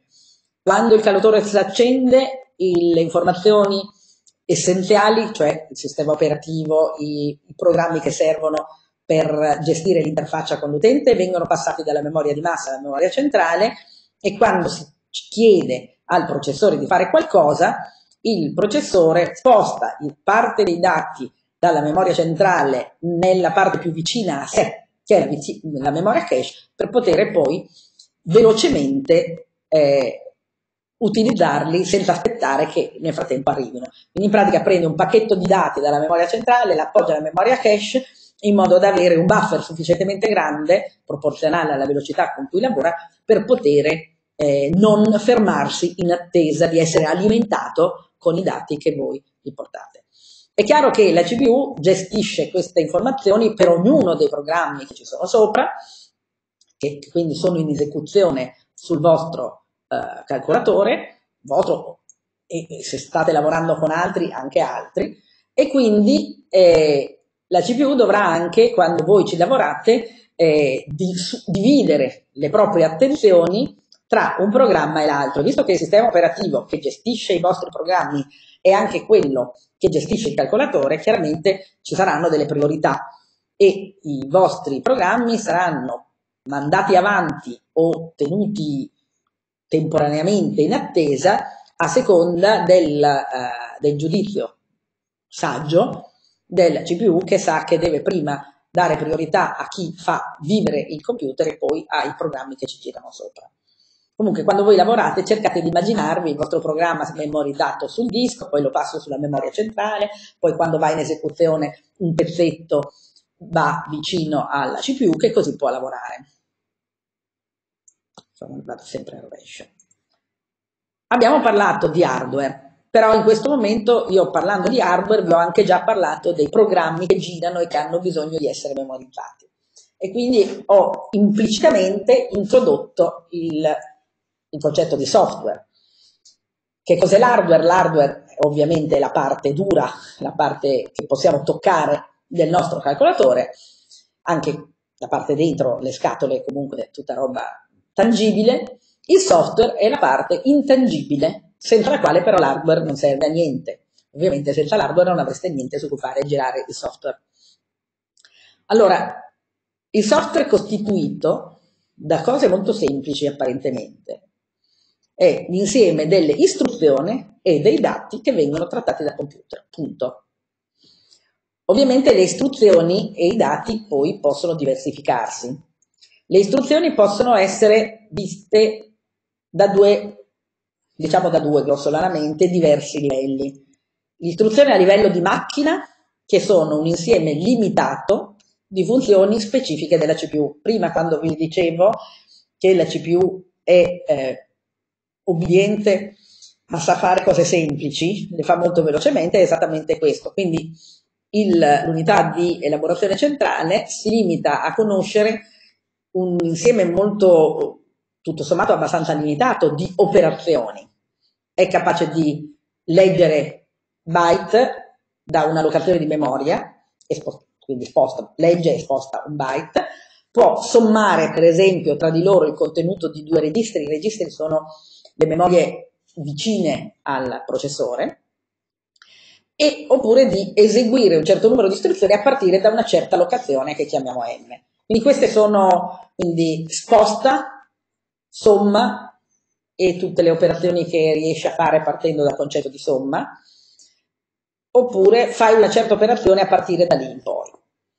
Eh, se noi dovessimo, come facevano quelli veramente bravi degli anni 50, eh, istruire i nostri calcolatori partendo da queste istruzioni, la nostra vita sarebbe estremamente difficile. Perché? Intanto perché bisognerebbe mettersi a pensare come funziona un processore, quindi non sommo A più B, ma mi sposto nell'allocazione dove è A, ma dove è A vado a cercarla perché non è che il calcolatore sa che quello si chiama. Lo sposto, lo sommo, lo risposto, sarebbe una vita infame. Oltretutto, visto che sono funzioni specifiche delle CPU, al cambio del processore il nostro programma non funzionerebbe più e quindi bisognerebbe rifare tutto. È per questo che dopo la cosa essenziale di insegnare ad un processore che è un processo molto vicino all'elettronica, un processore di fare delle istruzioni a livello di macchina, in realtà c'è stato uno sviluppo enorme di, eh, che ha dato la possibilità a un numero sempre crescente di, di utenti di dare istruzioni ai calcolatori, grazie a quelle che si chiamano le istruzioni di livello alto, di alto livello che sono quindi istruzioni, funzioni che vengono tradotte, funzioni che sono date secondo la lo logica con cui un essere umano pensa e vengono poi tradotte, sempre tramite qualcuno che glielo sa far fare, in una sequenza di istruzioni nel linguaggio macchina che quindi la macchina è in grado di compiere. Quindi noi diamo istruzioni che seguono la nostra logica e il linguaggio di livello alto fa tutte le traduzioni che portano poi alla eh, possibilità di dare la corretta sequenza di istruzioni nel linguaggio macchina specifico per, quella, per quel processore, per quella CPU, in modo che la stupida piccola macchina faccia le operazioni corrette. Quindi questa è la differenza tra il lavorare in linguaggio macchina e il lavorare in, eh, con un con un linguaggio di programmazione di, livello, di alto livello, che è quello che facciamo noi. Che questo fa sì che noi possiamo scrivere un programma che va bene sul processore A, sul processore B, sul processore C, semplicemente eh, grazie a questo strato di software in mezzo che lo adatta alle diverse caratteristiche hardware delle nostre macchine. Domande? Non ho, io leggo le vostre, non ho ben capito cosa faccia la RAM e a che cosa serve. Allora, la RAM sta per Random Access Memory, è una memoria d'accesso erratico, eh, d'accesso casuale.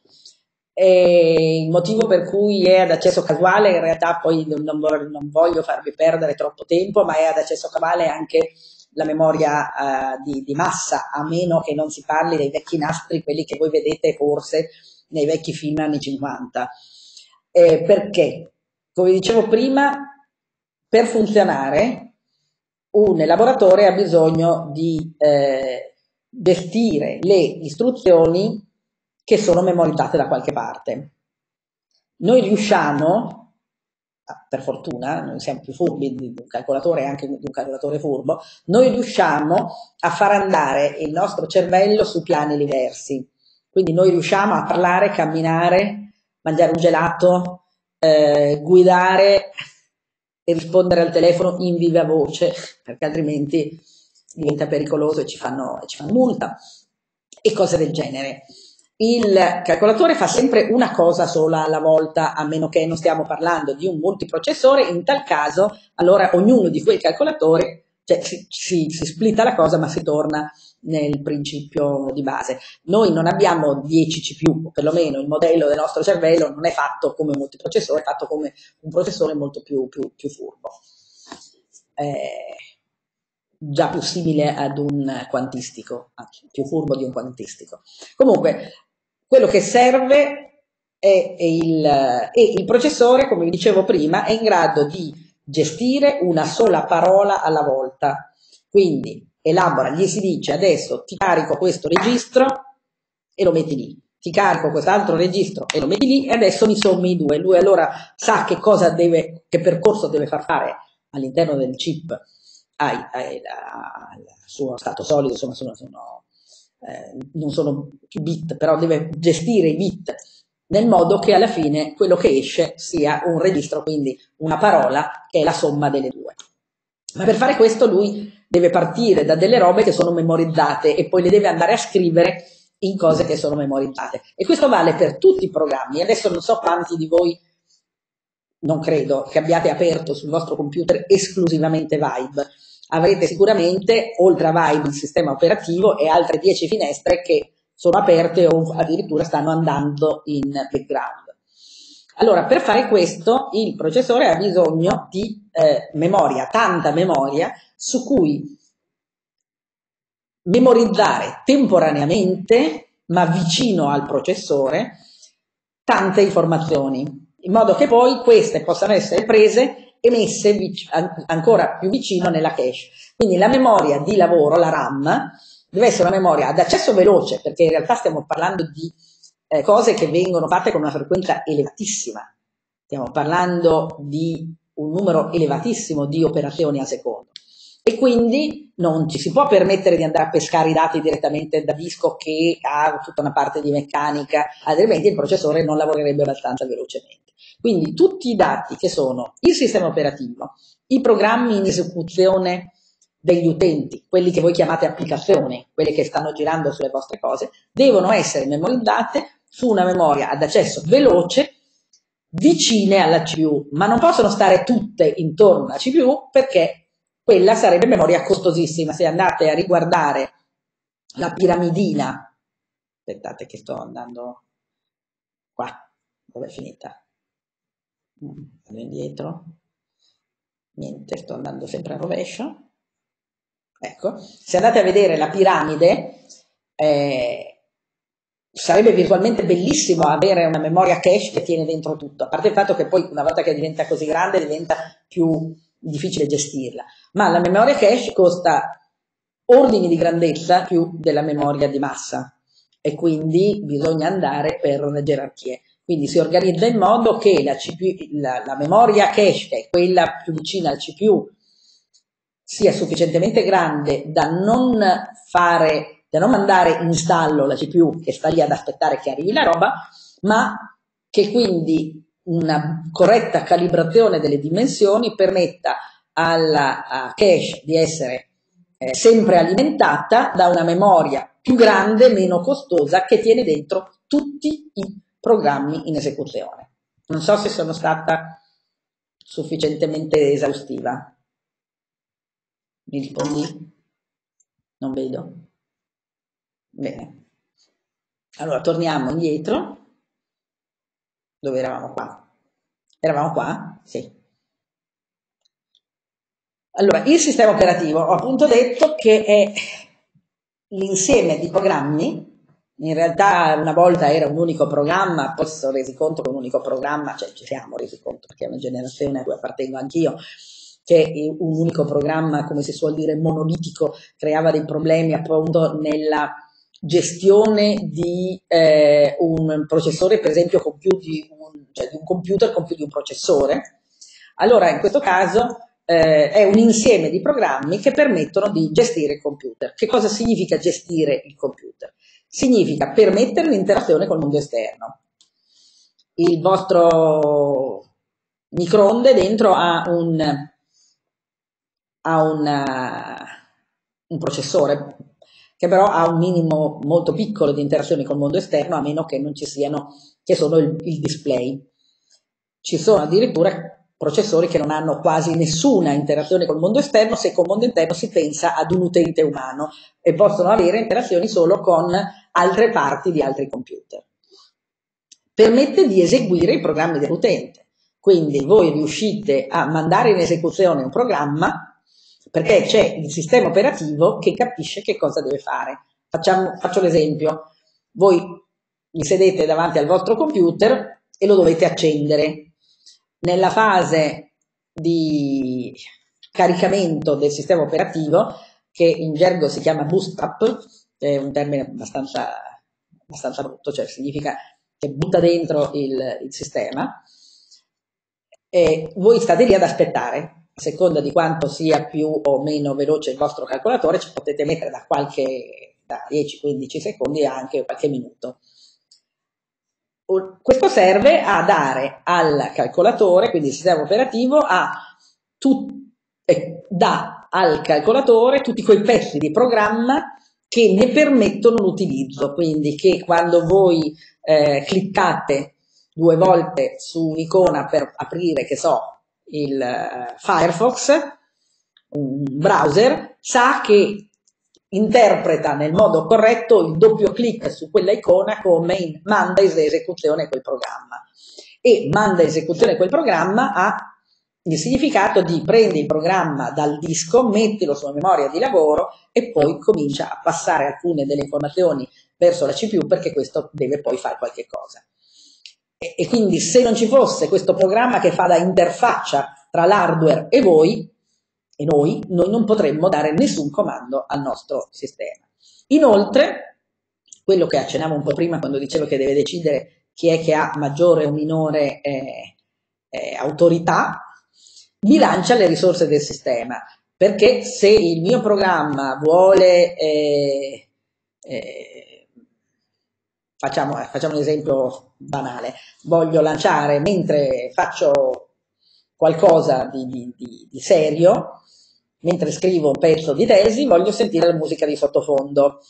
È, è chiaro che il, eh, il, vostro sistema deve fare in modo che il programma che esegue la musica di sottofondo non si porti via tutta la CPU perché vi impedirebbe di far andare il programma con cui state scrivendo la vostra tesi di laurea questo è un esempio stupido, ma è, è, ce ne sono mille, quindi fa sì che tutti i programmi vengano mandati in esecuzione dando all'utente la impressione che ognuno abbia, che ognuno stia vivendo in modo indipendente. In realtà il, questo balancing serve, che in realtà si chiama uh, swapping, fa sì che il uh, sistema operativo passi il controllo della CPU da un programma all'altro, all'altro ancora, equilibrandone il eh, funzionamento in modo da rendere il più trasparente possibile all'utente il fatto che ci si stia con, che diversi programmi stiano condividendo le stesse risorse.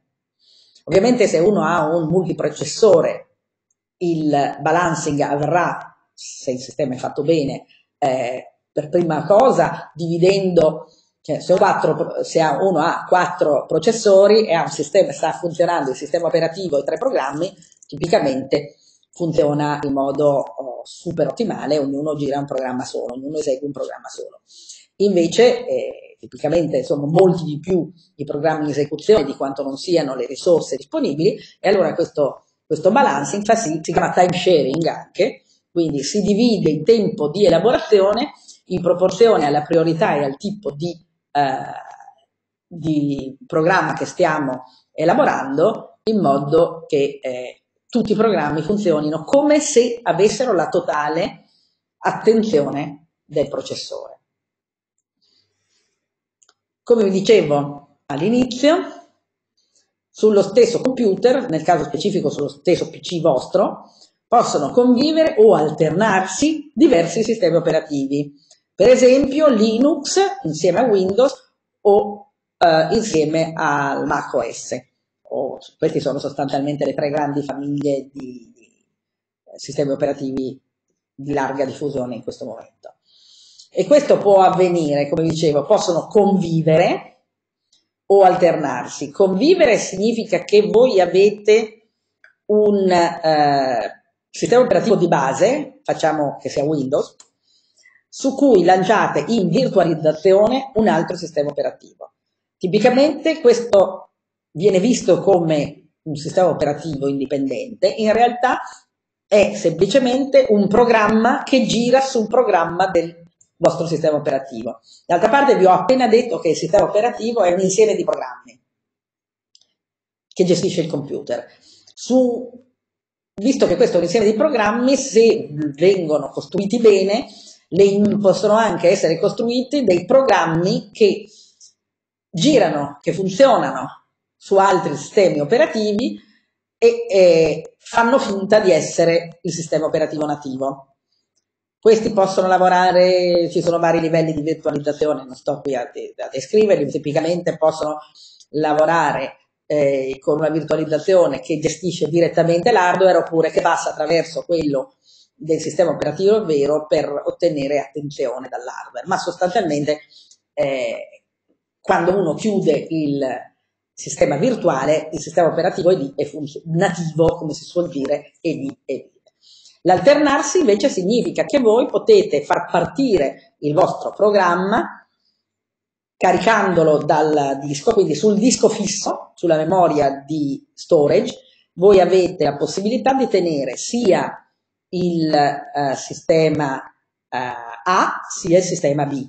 E al momento in cui, quando voi fate partire il programma, invece di partire subito, vi viene chiesto, quindi esiste, parte un micro pezzo di programma, proprio minimo, che, eh, che, che gestisce pochissima parte, se non quella appunto della gestione, dell'andare a recuperare le informazioni sul disco, e vi dice con quale sistema vuoi partire, uno sceglie A, sceglie B, e a quel punto utilizzerà, che so, Linux e Windows in modo diretto, quindi senza un uh, interposto sistema operativo tra sé e il computer, però non può aprire e chiudere rimanendo collegato. Quindi sostanzialmente il sistema di, di, alternarsi è quello che si chiama un dual boot, vi ho detto che si chiama Bootstrap il sistema per caricare il sistema operativo e quindi a macchina spenta o quasi spenta, quindi al, all'accendersi della macchina vi chiede eh, vuoi partire con Linux o vuoi partire con Windows. Una volta che avete risposto il, il computer sarà rigorosamente solo uno o solo l'altro. Mentre quando si lavora in macchina virtuale si carica il sistema di base sempre e poi se occorre usare un altro sistema operativo si può far partire il sistema operativo in macchina virtuale, lavorarci e chiuderlo senza bisogno di spegnere e riaccendere il calcolatore. Ovviamente il sistema della macchina virtuale è più, è più semplice da, da, da, gestire. Domande su questo? Quindi sostanzialmente io vi, vi, vi suggerirò di installare, il, se, non ave, se non ce l'avete, un sistema Linux in macchina virtuale e non in, uh, e, e non in doppio bootstrap perché per quello poi bisogna fare lavoro complicato, partizionare la memoria. Eh, finché non c'era la virtualizzazione era necessario farlo, adesso onestamente si può lavorare tranquillamente in macchina virtuale. Vado avanti, vado sempre a rovescio in realtà. Il sistema operativo, come vi dicevo, è il software che vi permette di operare direttamente sull'hardware ed è, è fatto in modo da mettere una bella distanza tra la macchina fisica e l'utente finale. Quindi isola sostanzialmente gli utenti dai dettagli dell'hardware questo è un grosso vantaggio di semplificazione della vita per l'utente e anche di maggiore eh, robustezza del sistema perché se l'utente finale eh, può o deve andare a lavorare direttamente sui dettagli dell'hardware, mh, può essere molto pericoloso, si possono fare molti danni al, involontariamente, quindi è meglio avere diciamo, uno strato di software cuscinetto che eh, ci permette di fare degli errori senza che la cosa si trasformi in una catastrofe per tutto il computer. I sistemi operativi possono essere monoutente o multiutente il vostro frigo probabilmente ha un sistema monotente, a meno che non sia particolarmente brillante, io non ho un frigorifero così nuovo, e eh, il microonde lo stesso. Con un dual boot cambierebbe semplicemente il modo in cui sono visualizzati i gestiti. Ho visto una domanda adesso. C'era un altro pezzo di domanda sopra? Cioè il dual boot non è che cambia, sì, non è che cambia il modo di essere visualizzati, cambia proprio il modo di gestire la macchina. Si lavora sempre con Linux o sempre con Windows e per passare da uno all'altro bisogna spegnere e ripartire, mentre in virtualizzazione c'è un, il sistema di base che funziona e voi potete aprire e chiudere la macchina virtuale senza uscire dalla... Uh, senza spegnere completamente una macchina che è un'operazione che può richiedere un po' di tempo e soprattutto se avete nel frattempo qualcosa che sta che è in esecuzione sull'altro sistema operativo, chiudete tutto e perdete tutto. Questa è la differenza grossa tra lavorare in dual boot o lavorare in macchina virtuale. Torno a, a, a dirvi dei sistemi monoutente o multiutente. Allora, i, i vostri, tutti i vostri computer sono di casa, sono multiutente. Non so quanti di voi lo usiate in sistema multiutente. Eh, multiutente significa che ogni, ogni membro, facciamo che sia il computer di casa, della famiglia, aspetta che torno Bertelli, ma con i dual boot si può collegare la stessa memoria di massa a due sistemi operativi? E il sistema operativo di entrambi, cioè entrambi i sistemi operativi, quando il calcolatore è spento, devono stare sullo store, quindi devono stare sulla memoria di massa. Quando accendi il computer e viene caricato il sistema operativo, in un sistema dual boot ti chiede quale dei due sistemi operativi vuoi, oppure parte automaticamente con uno, ma ti dà un certo numero di secondi di attesa per dirgli no, voglio quella. Ma tutto, sul disco ci può stare tutto, come le, tue, come le fotografie ci stanno i due sistemi operativi, sono bit scritti su disco quando stanno lì, a seconda di come sono interpretati, non hanno, cioè, se non c'è qualcosa che li fa interpretare nel modo corretto, i bit sono bit, non hanno, eh, non hanno una caratteristica particolare una volta che sono semplicemente memorizzati sulla memoria di massa. Poi cambia il formato, cambia il modo in cui questo formato viene gestito dai programmi che li gestiscono, che li analizzano. Torno al multiutente, va bene? Dicevo, il, tutti i calcolatori non, dei sistemi multipurpose sono anche multiutente e ovviamente multitasking. Cosa significa multitasking? Vuol dire fare più cose contemporaneamente. Quindi ascoltare la musica, scrivere un testo eh, intanto che sta andando in esecuzione un programma di calcolo. Eh, multiutente significa che sullo stesso calcolatore, con lo stesso sistema operativo, con la stessa CPU, con la stessa memoria, possono indipendentemente uno dall'altro lavorare più utenti.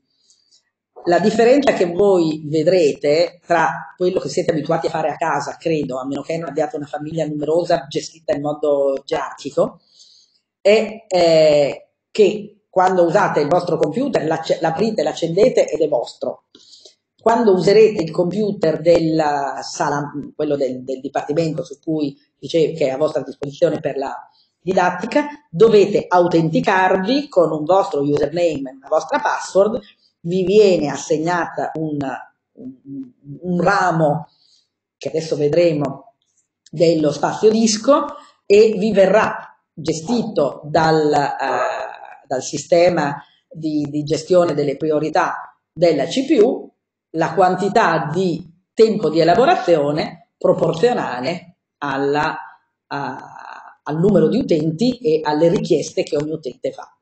Sempre nel migliore dei modi per equilibrare la, la, la disponibilità di potenza di calcolo tra i vari, cioè rendere disponibili a tutti gli utenti contemporanei nel modo più trasparente possibile.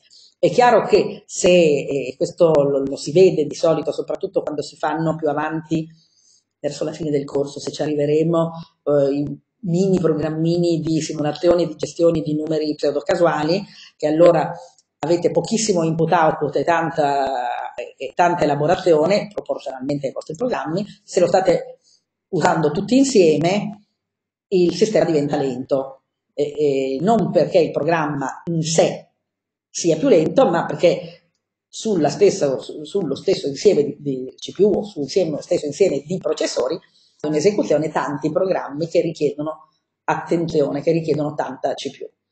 Quindi il multiutente ha il vantaggio che eh, se, la, se, il numero di utenti non è molto sproporzionato, eh, si utilizza al meglio, si utilizzano al meglio le risorse perché Mentre voi battete sui tasti, il calcolatore in realtà fa pochissimo perché i tempi vostri sono geologici rispetto ai tempi di un processore.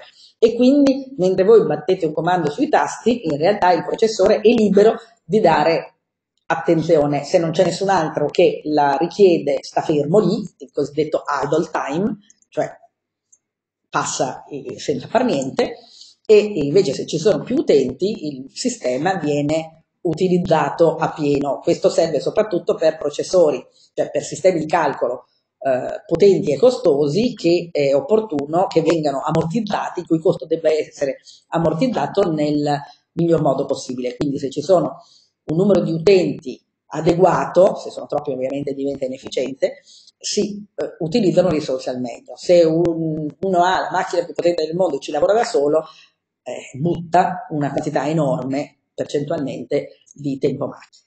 Il nostro sistema, che sia monoutente o che sia multiutente, è di solito organizzato a strati, è sempre organizzato a strati. Sotto c'è la macchina fisica, sopra ci sono un certo numero di, di, di, strati, il numero di strati dipende dal tipo di sistema operativo, comunque concettualmente sono fatti tutti quello che vedete. Esiste la parte che ho cerchiato, che ho riquadrato in rosso, che si chiama kernel, che è quello che brutalmente proprio si occupa della macchina, quindi la gestione, kernel in tedesco vuol dire eh, nucleo, e la gestione dei processi dura e pura, quindi la gestione dei processi e delle interruzioni e dei passaggi dei dati all'interno del eh, processore. Poi fa parte di questo la gestione della memoria, quindi eh, prenotare, allocare significa prenotare, prenotare e gestire la memoria necessaria al corretto funzionamento dei eh, processi che vanno in elaborazione e la gestione delle periferie, per cui l'input-output, il video, la, la, stampante, eccetera, I, i, dischi che sono tutta roba di input-output. Su questo c'è una parte più soft che è quella della gestione che si chiama file system, che è il controllo che serve a, a dare eh, all'utente la possibilità di gestire e controllare gli accessi al file pensando da umano, mentre il, eh, la macchina fisica gestisce le, la memoria e le periferiche pensando da macchina. Prima vi dicevo che l'accesso alle memorie anche di massa, quindi anche ai, ai dischi, alle periferiche, è fatto in modo random, perché pensiamo al disco classico, al disco da computer classico, è un supporto magnetico che può essere multistrato, ma ce lo immagin- che è multistrato, ma ce lo immaginiamo un singolo disco perché è più facile immaginarlo, con una testina che non tocca ma è in grado, eh, ma passa, sta ad una distanza molto piccola in modo da essere sensibile dalla, della, alla magnetizzazione. E per ridurre al minimo lo spostamento che è il punto debole dei dischi, la parte meccanica è la parte più lenta e la parte più debole, tipicamente il disco gira su se stesso, ovviamente, e la testina si muove esclusivamente lungo un segmento e scrive, per andare il più velocemente possibile, scrive nei primi posti liberi che trova. Quindi noi immaginiamo la nostra lettera, il nostro programma, costituito un insieme continuo, sequenziale di informazioni. In realtà, quando l'hardware viene gestito, il calcolatore scrive i pezzi di, del, della vostra lettera nei primi buchi liberi che trova. Sarebbe come se prendesse il foglio, lo dividesse in tanti coriandoli e eh, lo infilasse eh, nei buchi di puzzle a caso. Questo perché dal punto di vista della gestione della macchina fisica, il ricostruire l'insieme della vostra lettera porta via meno tempo che aspettare ad andare a, ad andare a cercare uno spazio tutto bello contiguo di locazioni di memoria che ci permettano di scrivere le nostre cose. È chiaro che noi non possiamo pensare così, noi non riusciremo mai a immaginarci il nostro file spezzettato e sparpagliato su vari dischi di, del, del nostro storage.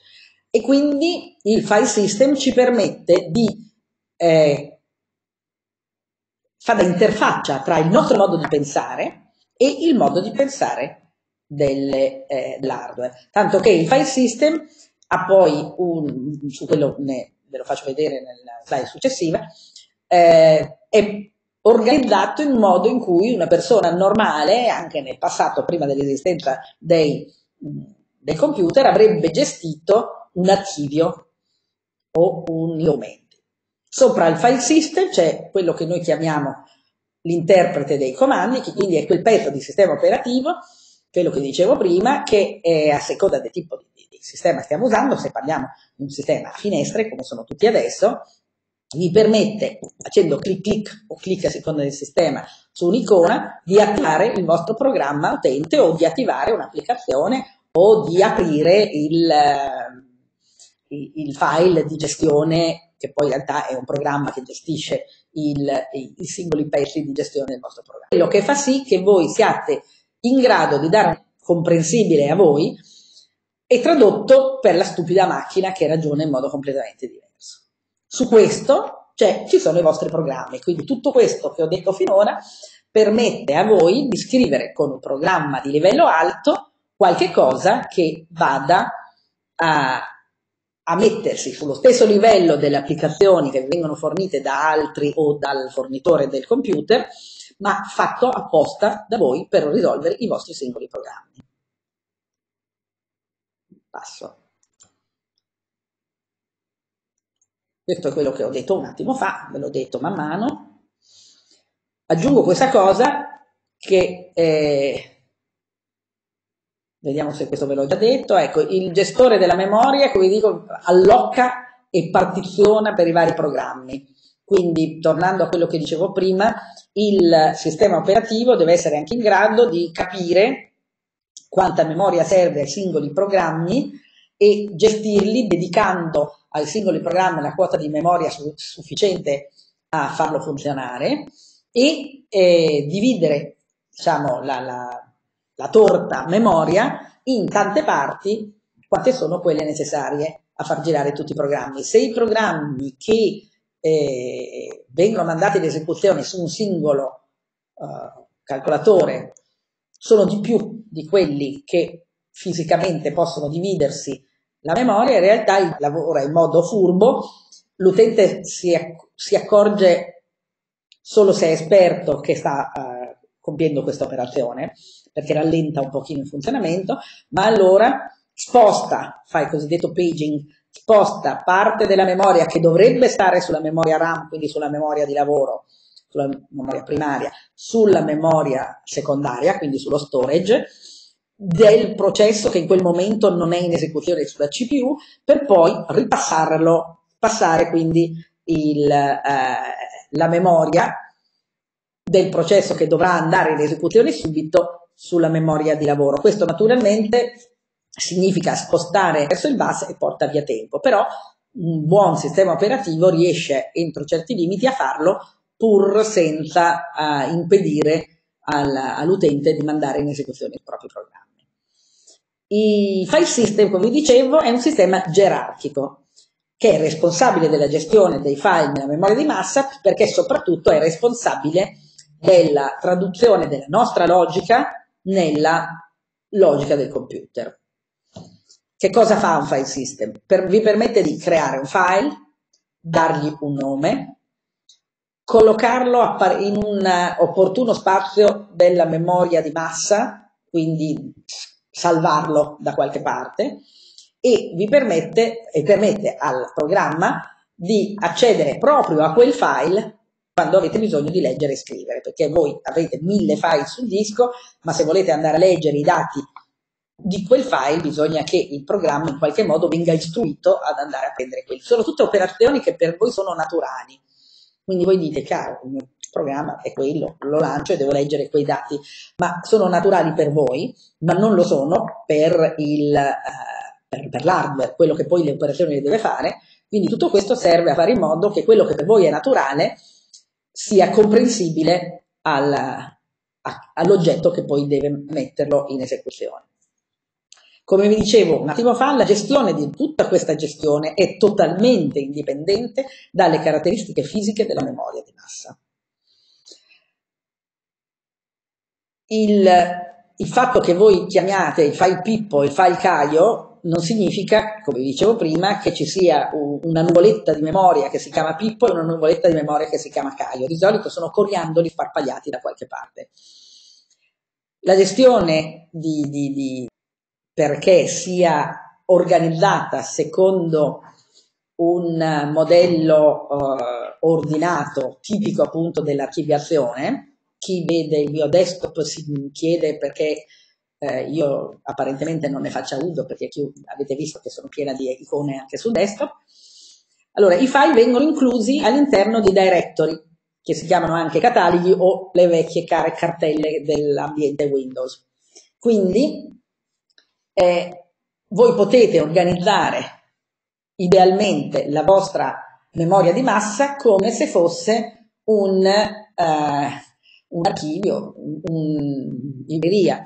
Voi mettete le vostre relazioni stampate dentro una cartellina dove scrivete laboratorio eh, primo anno, dall'altra parte mettete i, gli esercizi di, fatti con Guidorchi e scrivete esercizi fisica 1 e poi li mettete dentro un faldone che si chiama eh, corsi del primo anno di fisica è la filosofia, quindi una serie di contenitori all'interno dei quali voi potete immaginare di aver messo qualche cosa. E questi contenitori hanno un'organizzazione ad albero. Quando io vi ho detto la cartellina nel faldone, il faldone sul bando, da una cosa più dettagliata ad una cosa, eh, diciamo, che, che ne comprende altre. Quindi è quella che si chiama un'organizzazione gerarchica che tipicamente ha una struttura ad albero, è questo. Quindi questa cosa qui, quella non è una L corsiva ma è uno slash, è il punto da cui parte tutto, da lì si dirama il vostro, eh, il vostro file system, ci saranno delle cartelle, vedete queste sono fatte proprio come le cartelline dei vecchi, eh, dei vecchi archivi a, a cassetti, eh, che fanno parte, di cui ci sono le parti, bin vuol dire binary, vuol dire quindi le parti del sistema operativo, eh, le librerie, la parte utenti. Ecco, supponiamo che voi siate la parte finale della parte utenti. Utenti, che tipo di utenti? Staff, amministratori, studenti, e quindi si passa da, dalla, dalla radice, infatti si chiama root questo simbolo, dalla radice alla cartella utenti, dalla cartella utenti alla cartella studenti e poi ci sono tutte eh, le possibili, adesso qui ci sono delle parole a caso, tutte le possibili sottocartelline. Questo appunto è quello che significa una struttura gerarchica. Come sono organizzati all'interno di questa struttura gerarchica i nostri file? Tipicamente in un sistema multiutente, cioè praticamente sempre in un sistema multipurpose, a ciascun utente è associata una directory specifica per l'utente Pippo ci sarà la sua home directory che si chiama Pippo. Ciascun file all'interno di questa directory sarà identificato da quello che si chiama un path name assoluto del file, che include l'intero cammino dalla radice, quella che avevamo visto dello slash, dell'albero, no? al file. Il contesto di un utente è quello in cui correntemente si trova l'utente. Quindi faccio un passo indietro, ecco, passo indietro, vado sempre. Quindi se voi siete lo studente, dov'è qua?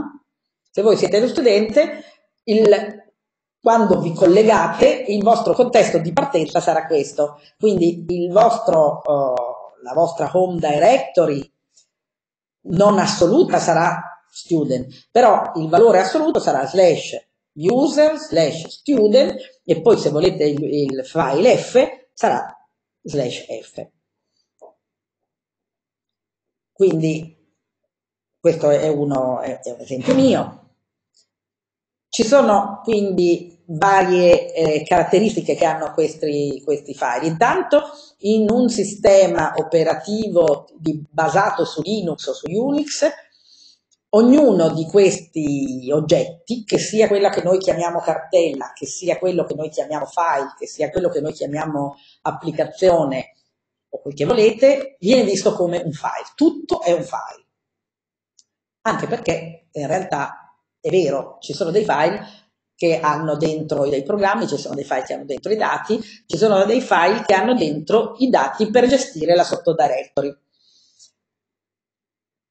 nel caso di un sistema Unix o Linux, se uno volesse vedere la lista completa, una parte della lista dei propri file, questo come vedete è un modo tutt'altro che user friendly di vedere una lista dei propri, del contenuto della propria memoria, ma è quella professionale che vi dà tutte le informazioni. Questo vi dice anche qual è il livello di protezione che un file ha rispetto a, a che cosa può essere fatto su quel file. Allora, voi vedete che qui c'è una stringa di letterine stupide, di RWX, RRXR, eccetera.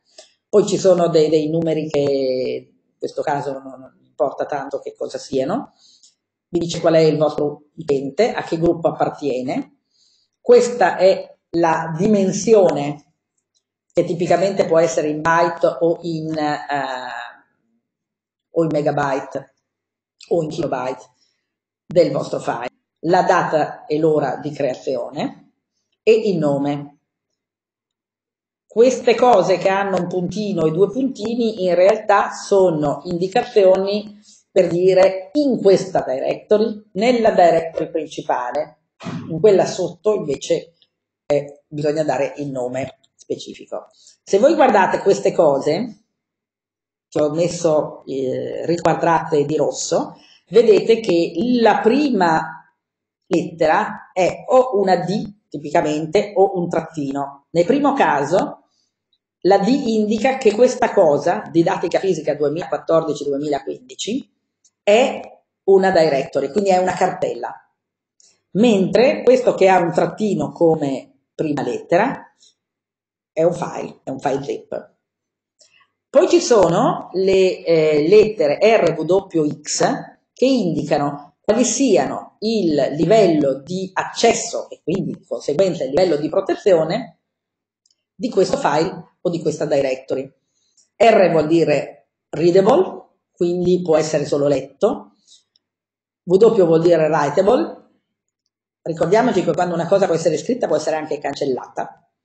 Quindi il, il la protezione W, cioè l'accesso W vuol dire accesso in scrittura e quindi anche accesso in cancellazione. E X vuol dire executable, quindi eseguibile. Quindi un programma, una directory in realtà gestisce qualcosa, fa qualche cosa e deve essere eseguibile. Poi chiaramente il proprietario potrà, eh, quindi l'owner potrà scrivere, cancellare, eseguire, mentre eventualmente altri potranno solo eseguire, solo leggere o solo leggere e basta. Quindi i, i tre gruppi sono proprietario, gruppo e il resto del mondo. Queste sono cose che io vi dico e eh, che non dovete eh, ricordare tutte oggi e tutte insieme, ma fanno parte, diciamo, del livello di base dell'organizzazione dei, dei vostri file. Io con questo per oggi finirei, poi vi lascio tempo per un po' di domande. Adesso parliamo di reti di calcolatori, perché le reti di calcolatori sono parte aggiunta nella storia dei calcolatori, quindi del computing, e eh, a parte, ma senza la quale voi non riuscite ad immaginare l'esistenza di un computer. Cioè, mh, quando sono nati i computer non erano computer messi in rete, io credo che nessuno di voi possa vedere, ma nel pannello non si chiamava backslash invece dello slash normale? No, solo in ambiente Windows. Nell'ambiente Unix e negli altri è lo slash normale. Però concettualmente è la stessa cosa. Però l'ambiente Windows è un ambiente proprietario e quindi è, è, è organizzato un po' diverso. Hanno copyright su quello come dicevo, voi, io credo che la vostra generazione non riesca ad immaginare a che cosa possa servire un computer se non è attaccato in rete. In realtà ci si possono fare un sacco di cose, però anche io al giorno d'oggi un computer senza rete sarei decisamente eh, scontenta. Quindi in questo momento i calcolatori e la rete di calcolatori sono indissolubilmente legati. Che cosa sono le reti di calcolatori? Sono quelle che ci permettono di collegare tra loro i nodi di rete. I nodi di rete possono essere ad una distanza breve o anche infinitamente grande tra di loro e forniscono quelli che si chiamano servizi di rete. Perché l'ho scritto in eh, rosso, tra virgolette? Perché in realtà eh, sono le reti di calcolatori collegano elaboratori. Non tutti gli elaboratori di una rete sono quelli uguali a quelli di fronte al quale voi siete seduti, perché alcuni nodi sono i laboratori dedicati alla gestione di questa rete. Anzi, questi sono i nodi fondamentali, perché se il vostro calcolatore in casa smette di funzionare, è un problema per voi, vabbè. Se il, eh, l'elaboratore che sta a monte della vostra città e che gestisce la rete del vostro provider smette di funzionare, ci sono migliaia, molte migliaia di persone che non vedono più la rete. E quindi questo, il, questi elaboratori che fanno solo servizi di rete e non servizi di calcolo a tutti gli utenti umani che ci sono seduti di fronte sono lo zoccolo duro, sono la parte importante della rete. Tanto che in un rete di di calcolatori, i calcolatori, quelli che per noi sono una cosa importante, sono considerate le foglie, quindi la parte eh, meno importante della gerarchia, mentre sono molto importanti tutti i sistemi di smistamento, che sono calcolatori su cui girano dei processi molto, quindi dei sistemi operativi specializzati e dei eh, processi di ottimizzazione dello smistamento. Quindi ci sono dei, dei sofisticatissimi sistemi di ottimizzazione dello smistamento che si occupano, che sono quei quelli che in piccola parte vengono un po' copiati da chi usa fare il, uh, la gestione del traffico di qualsiasi cosa, dal traffico dei, dei mezzi pubblici all'ottimizzazione del traffico uh, stradale dei treni e roba del genere.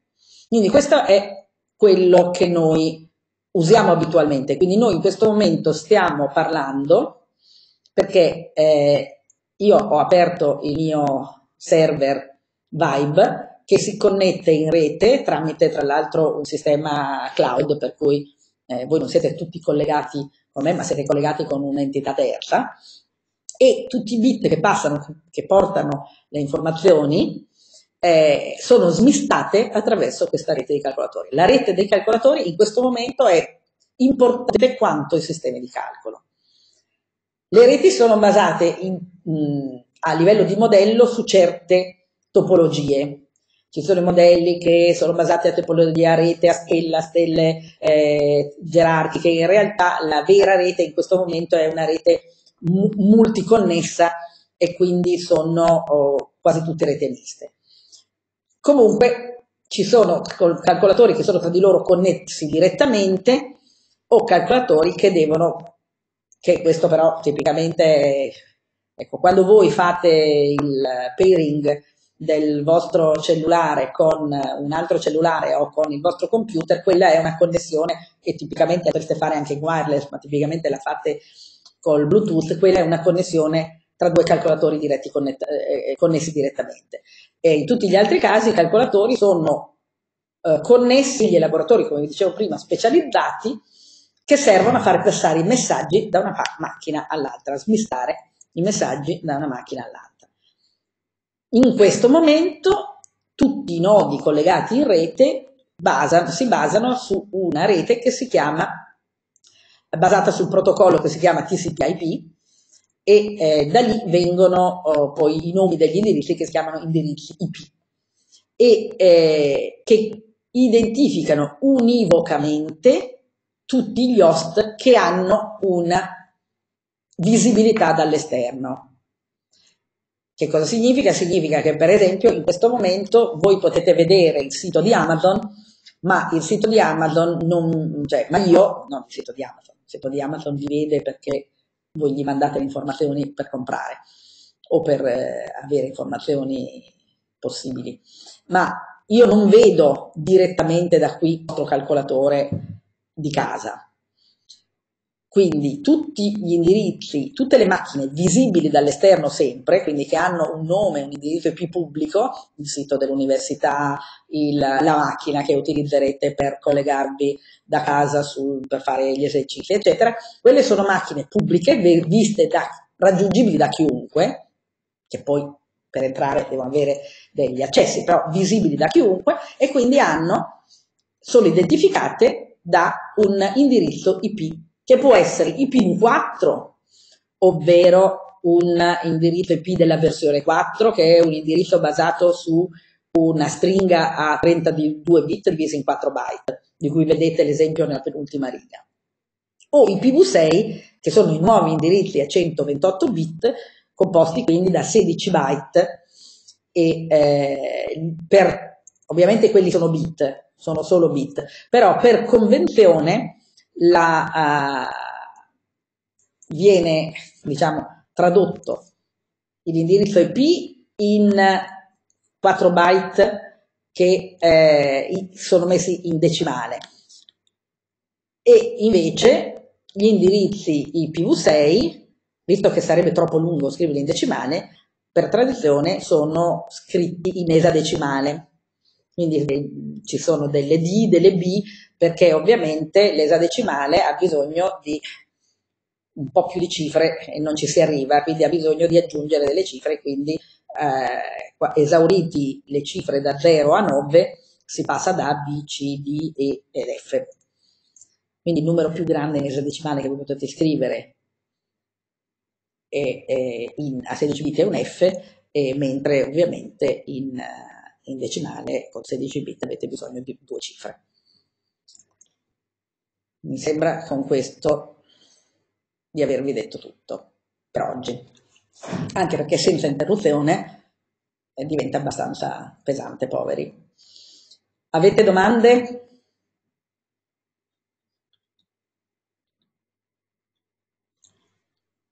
Siete ancora lì? Non ho, io non ho guardato quanti ce ne sono ancora, quanti hanno resistito.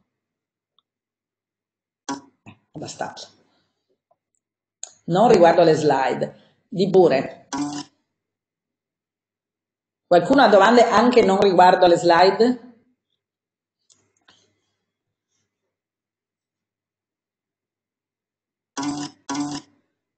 Eh, aspetta che quello di prima mi è sfuggito. Come si fa? Aspetta, ah, ecco, così per andare a vedere, no, non riesco a vedere le domande sopra. Trovato. Le mette anche su YouTube la lezione? Mm, forse sì. Fammi vedere cosa mi sono persa di domande. Direi di sì, non lo faccio io di solito, cioè non siamo noi a mettere su YouTube. Io sto registrando e quindi qualcosa di registrato c'è. Se la registrazione, cioè io vedo recording, se la registrazione è venuta accettabile, se non ho sbagliato, visto che è la prima volta a inquadrare la cosa che registravo, direi di sì. Se non la vedete è perché ho pasticciato anche perché utilizzo questo momento per motivi di licenze, di, di disponibilità di spazi, eccetera. Sono, stiamo usando 5-6 sistemi diversi, quindi facciamo gli esami con uno, gli esami di dottorato con un altro, le riunioni con un altro e quindi stiamo facendo un po', un po' di tutto. Come programma per la parte di programmazione ha una preferenza? Questa non ho capita.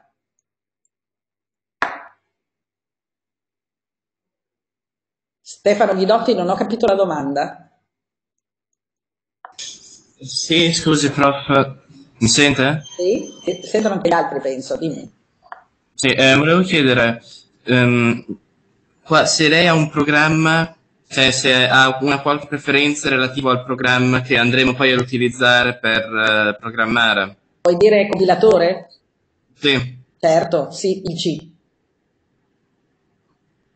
Ok ma questo ve l'avevo messo, forse è sfuggito, c'era all'inizio. Comunque vi, vi, quando cominceremo vi dico anche quale è un compilatore che è gratuito, quindi freeware, che potete installare su qualsiasi eh, versione di, di, di, sistema operativo, sicuramente Linux e Unix. Confesso che non so se esista per Windows, ma tanto se voi mettete sulla macchina virtuale lavorate lavorate con quello senza problemi. Ok, grazie mille. Prego. Uno dei motivi per cui, cioè, non è un fatto personale quello nei confronti di Windows, è che tutto quello che si installa su Windows deve avere una licenza. E allora, che cosa voi avete a casa? Ovviamente un problema vostro, nel senso che io sconto che sia tutta roba assolutamente regolare, però non, non vengono fatti i controlli, ma noi non possiamo né vogliamo farvi usare qualche cosa che eh, debba, avere la, debba avere dietro l'acquisto di una licenza da parte vostra e quindi non c'è motivo che vi facciamo comprare dei compilatori per Windows quando in realtà ci sono un sacco di compilatori per Linux gratuiti utilizzati seriamente in ambito scientifico che funzionano benissimo, gratuitamente e legalmente gratuitamente, quindi senza problemi. Altre domande?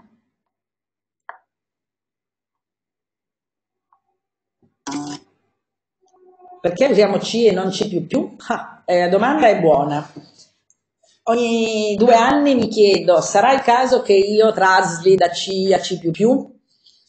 Poi però vi vedo, e visto che il C++, se fatto bene, perché il problema è che spesso eh, si utilizza il compilatore C++, la sintassi del C++ per lavorare in maniera sequenziale come in C e allora tanto vale essere consapevoli che si sta lavorando in un sistema non ad oggetti. Allora il C++ è un e la programmazione ad oggetti prevede una base concettuale un, che richiederebbe un po' più di tempo di quello che noi abbiamo in un, um, un po' più di tempo e un po' più di esperienza da parte vostra di quello che non abbiamo al primo anno eh, mi sto aspettando che nelle scuole secondarie, quindi da dove venite, ci sia una maggiore diffusione di queste parti. Però molti di voi non hanno mai visto un linguaggio di programmazione in vita loro e eh, quindi preferisco andare per gradi. Il C ha una sintassi che è quasi tutta trasportabile in C++. Il, stiamo cercando di eh, modificare il di, di, diciamo, di fare in modo che negli anni prossimi ci siano dei corsi di programmazione avanzati. Ne abbiamo già fatto uno in Python, c'è già un corso di programmazione in Python, e, eh, che è un linguaggio più, più, moderno, con cui si fa meno, meno, meno scienza ma tante altre belle cose. E secondo me sarebbe bello che almeno alla magistrale ci fosse un corso di C per cui so che le due cose eh, possono convivere. Però sostanzialmente io non voglio insegnarvi il C++ come se fosse C, perché è una mistificazione. Altre domande?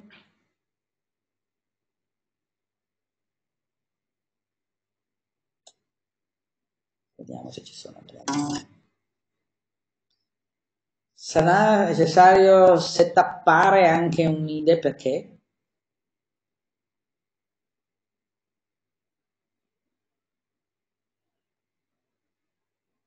Mm. No, quello che voi dovete fare è mettere sul sistema un sistema Linux e eh, installare il compilatore. Installare, tirare giù il compilatore GCC si chiama, che è poi quello del Newton senza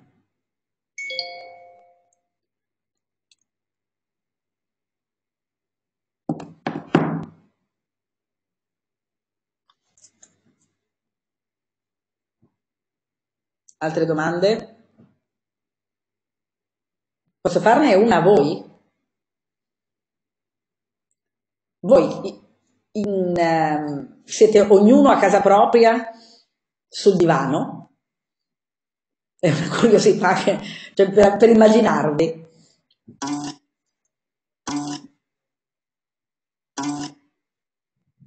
Quindi avete un aspetto un po' più professionale. Bravi. No, giusto per non immaginarvi in versione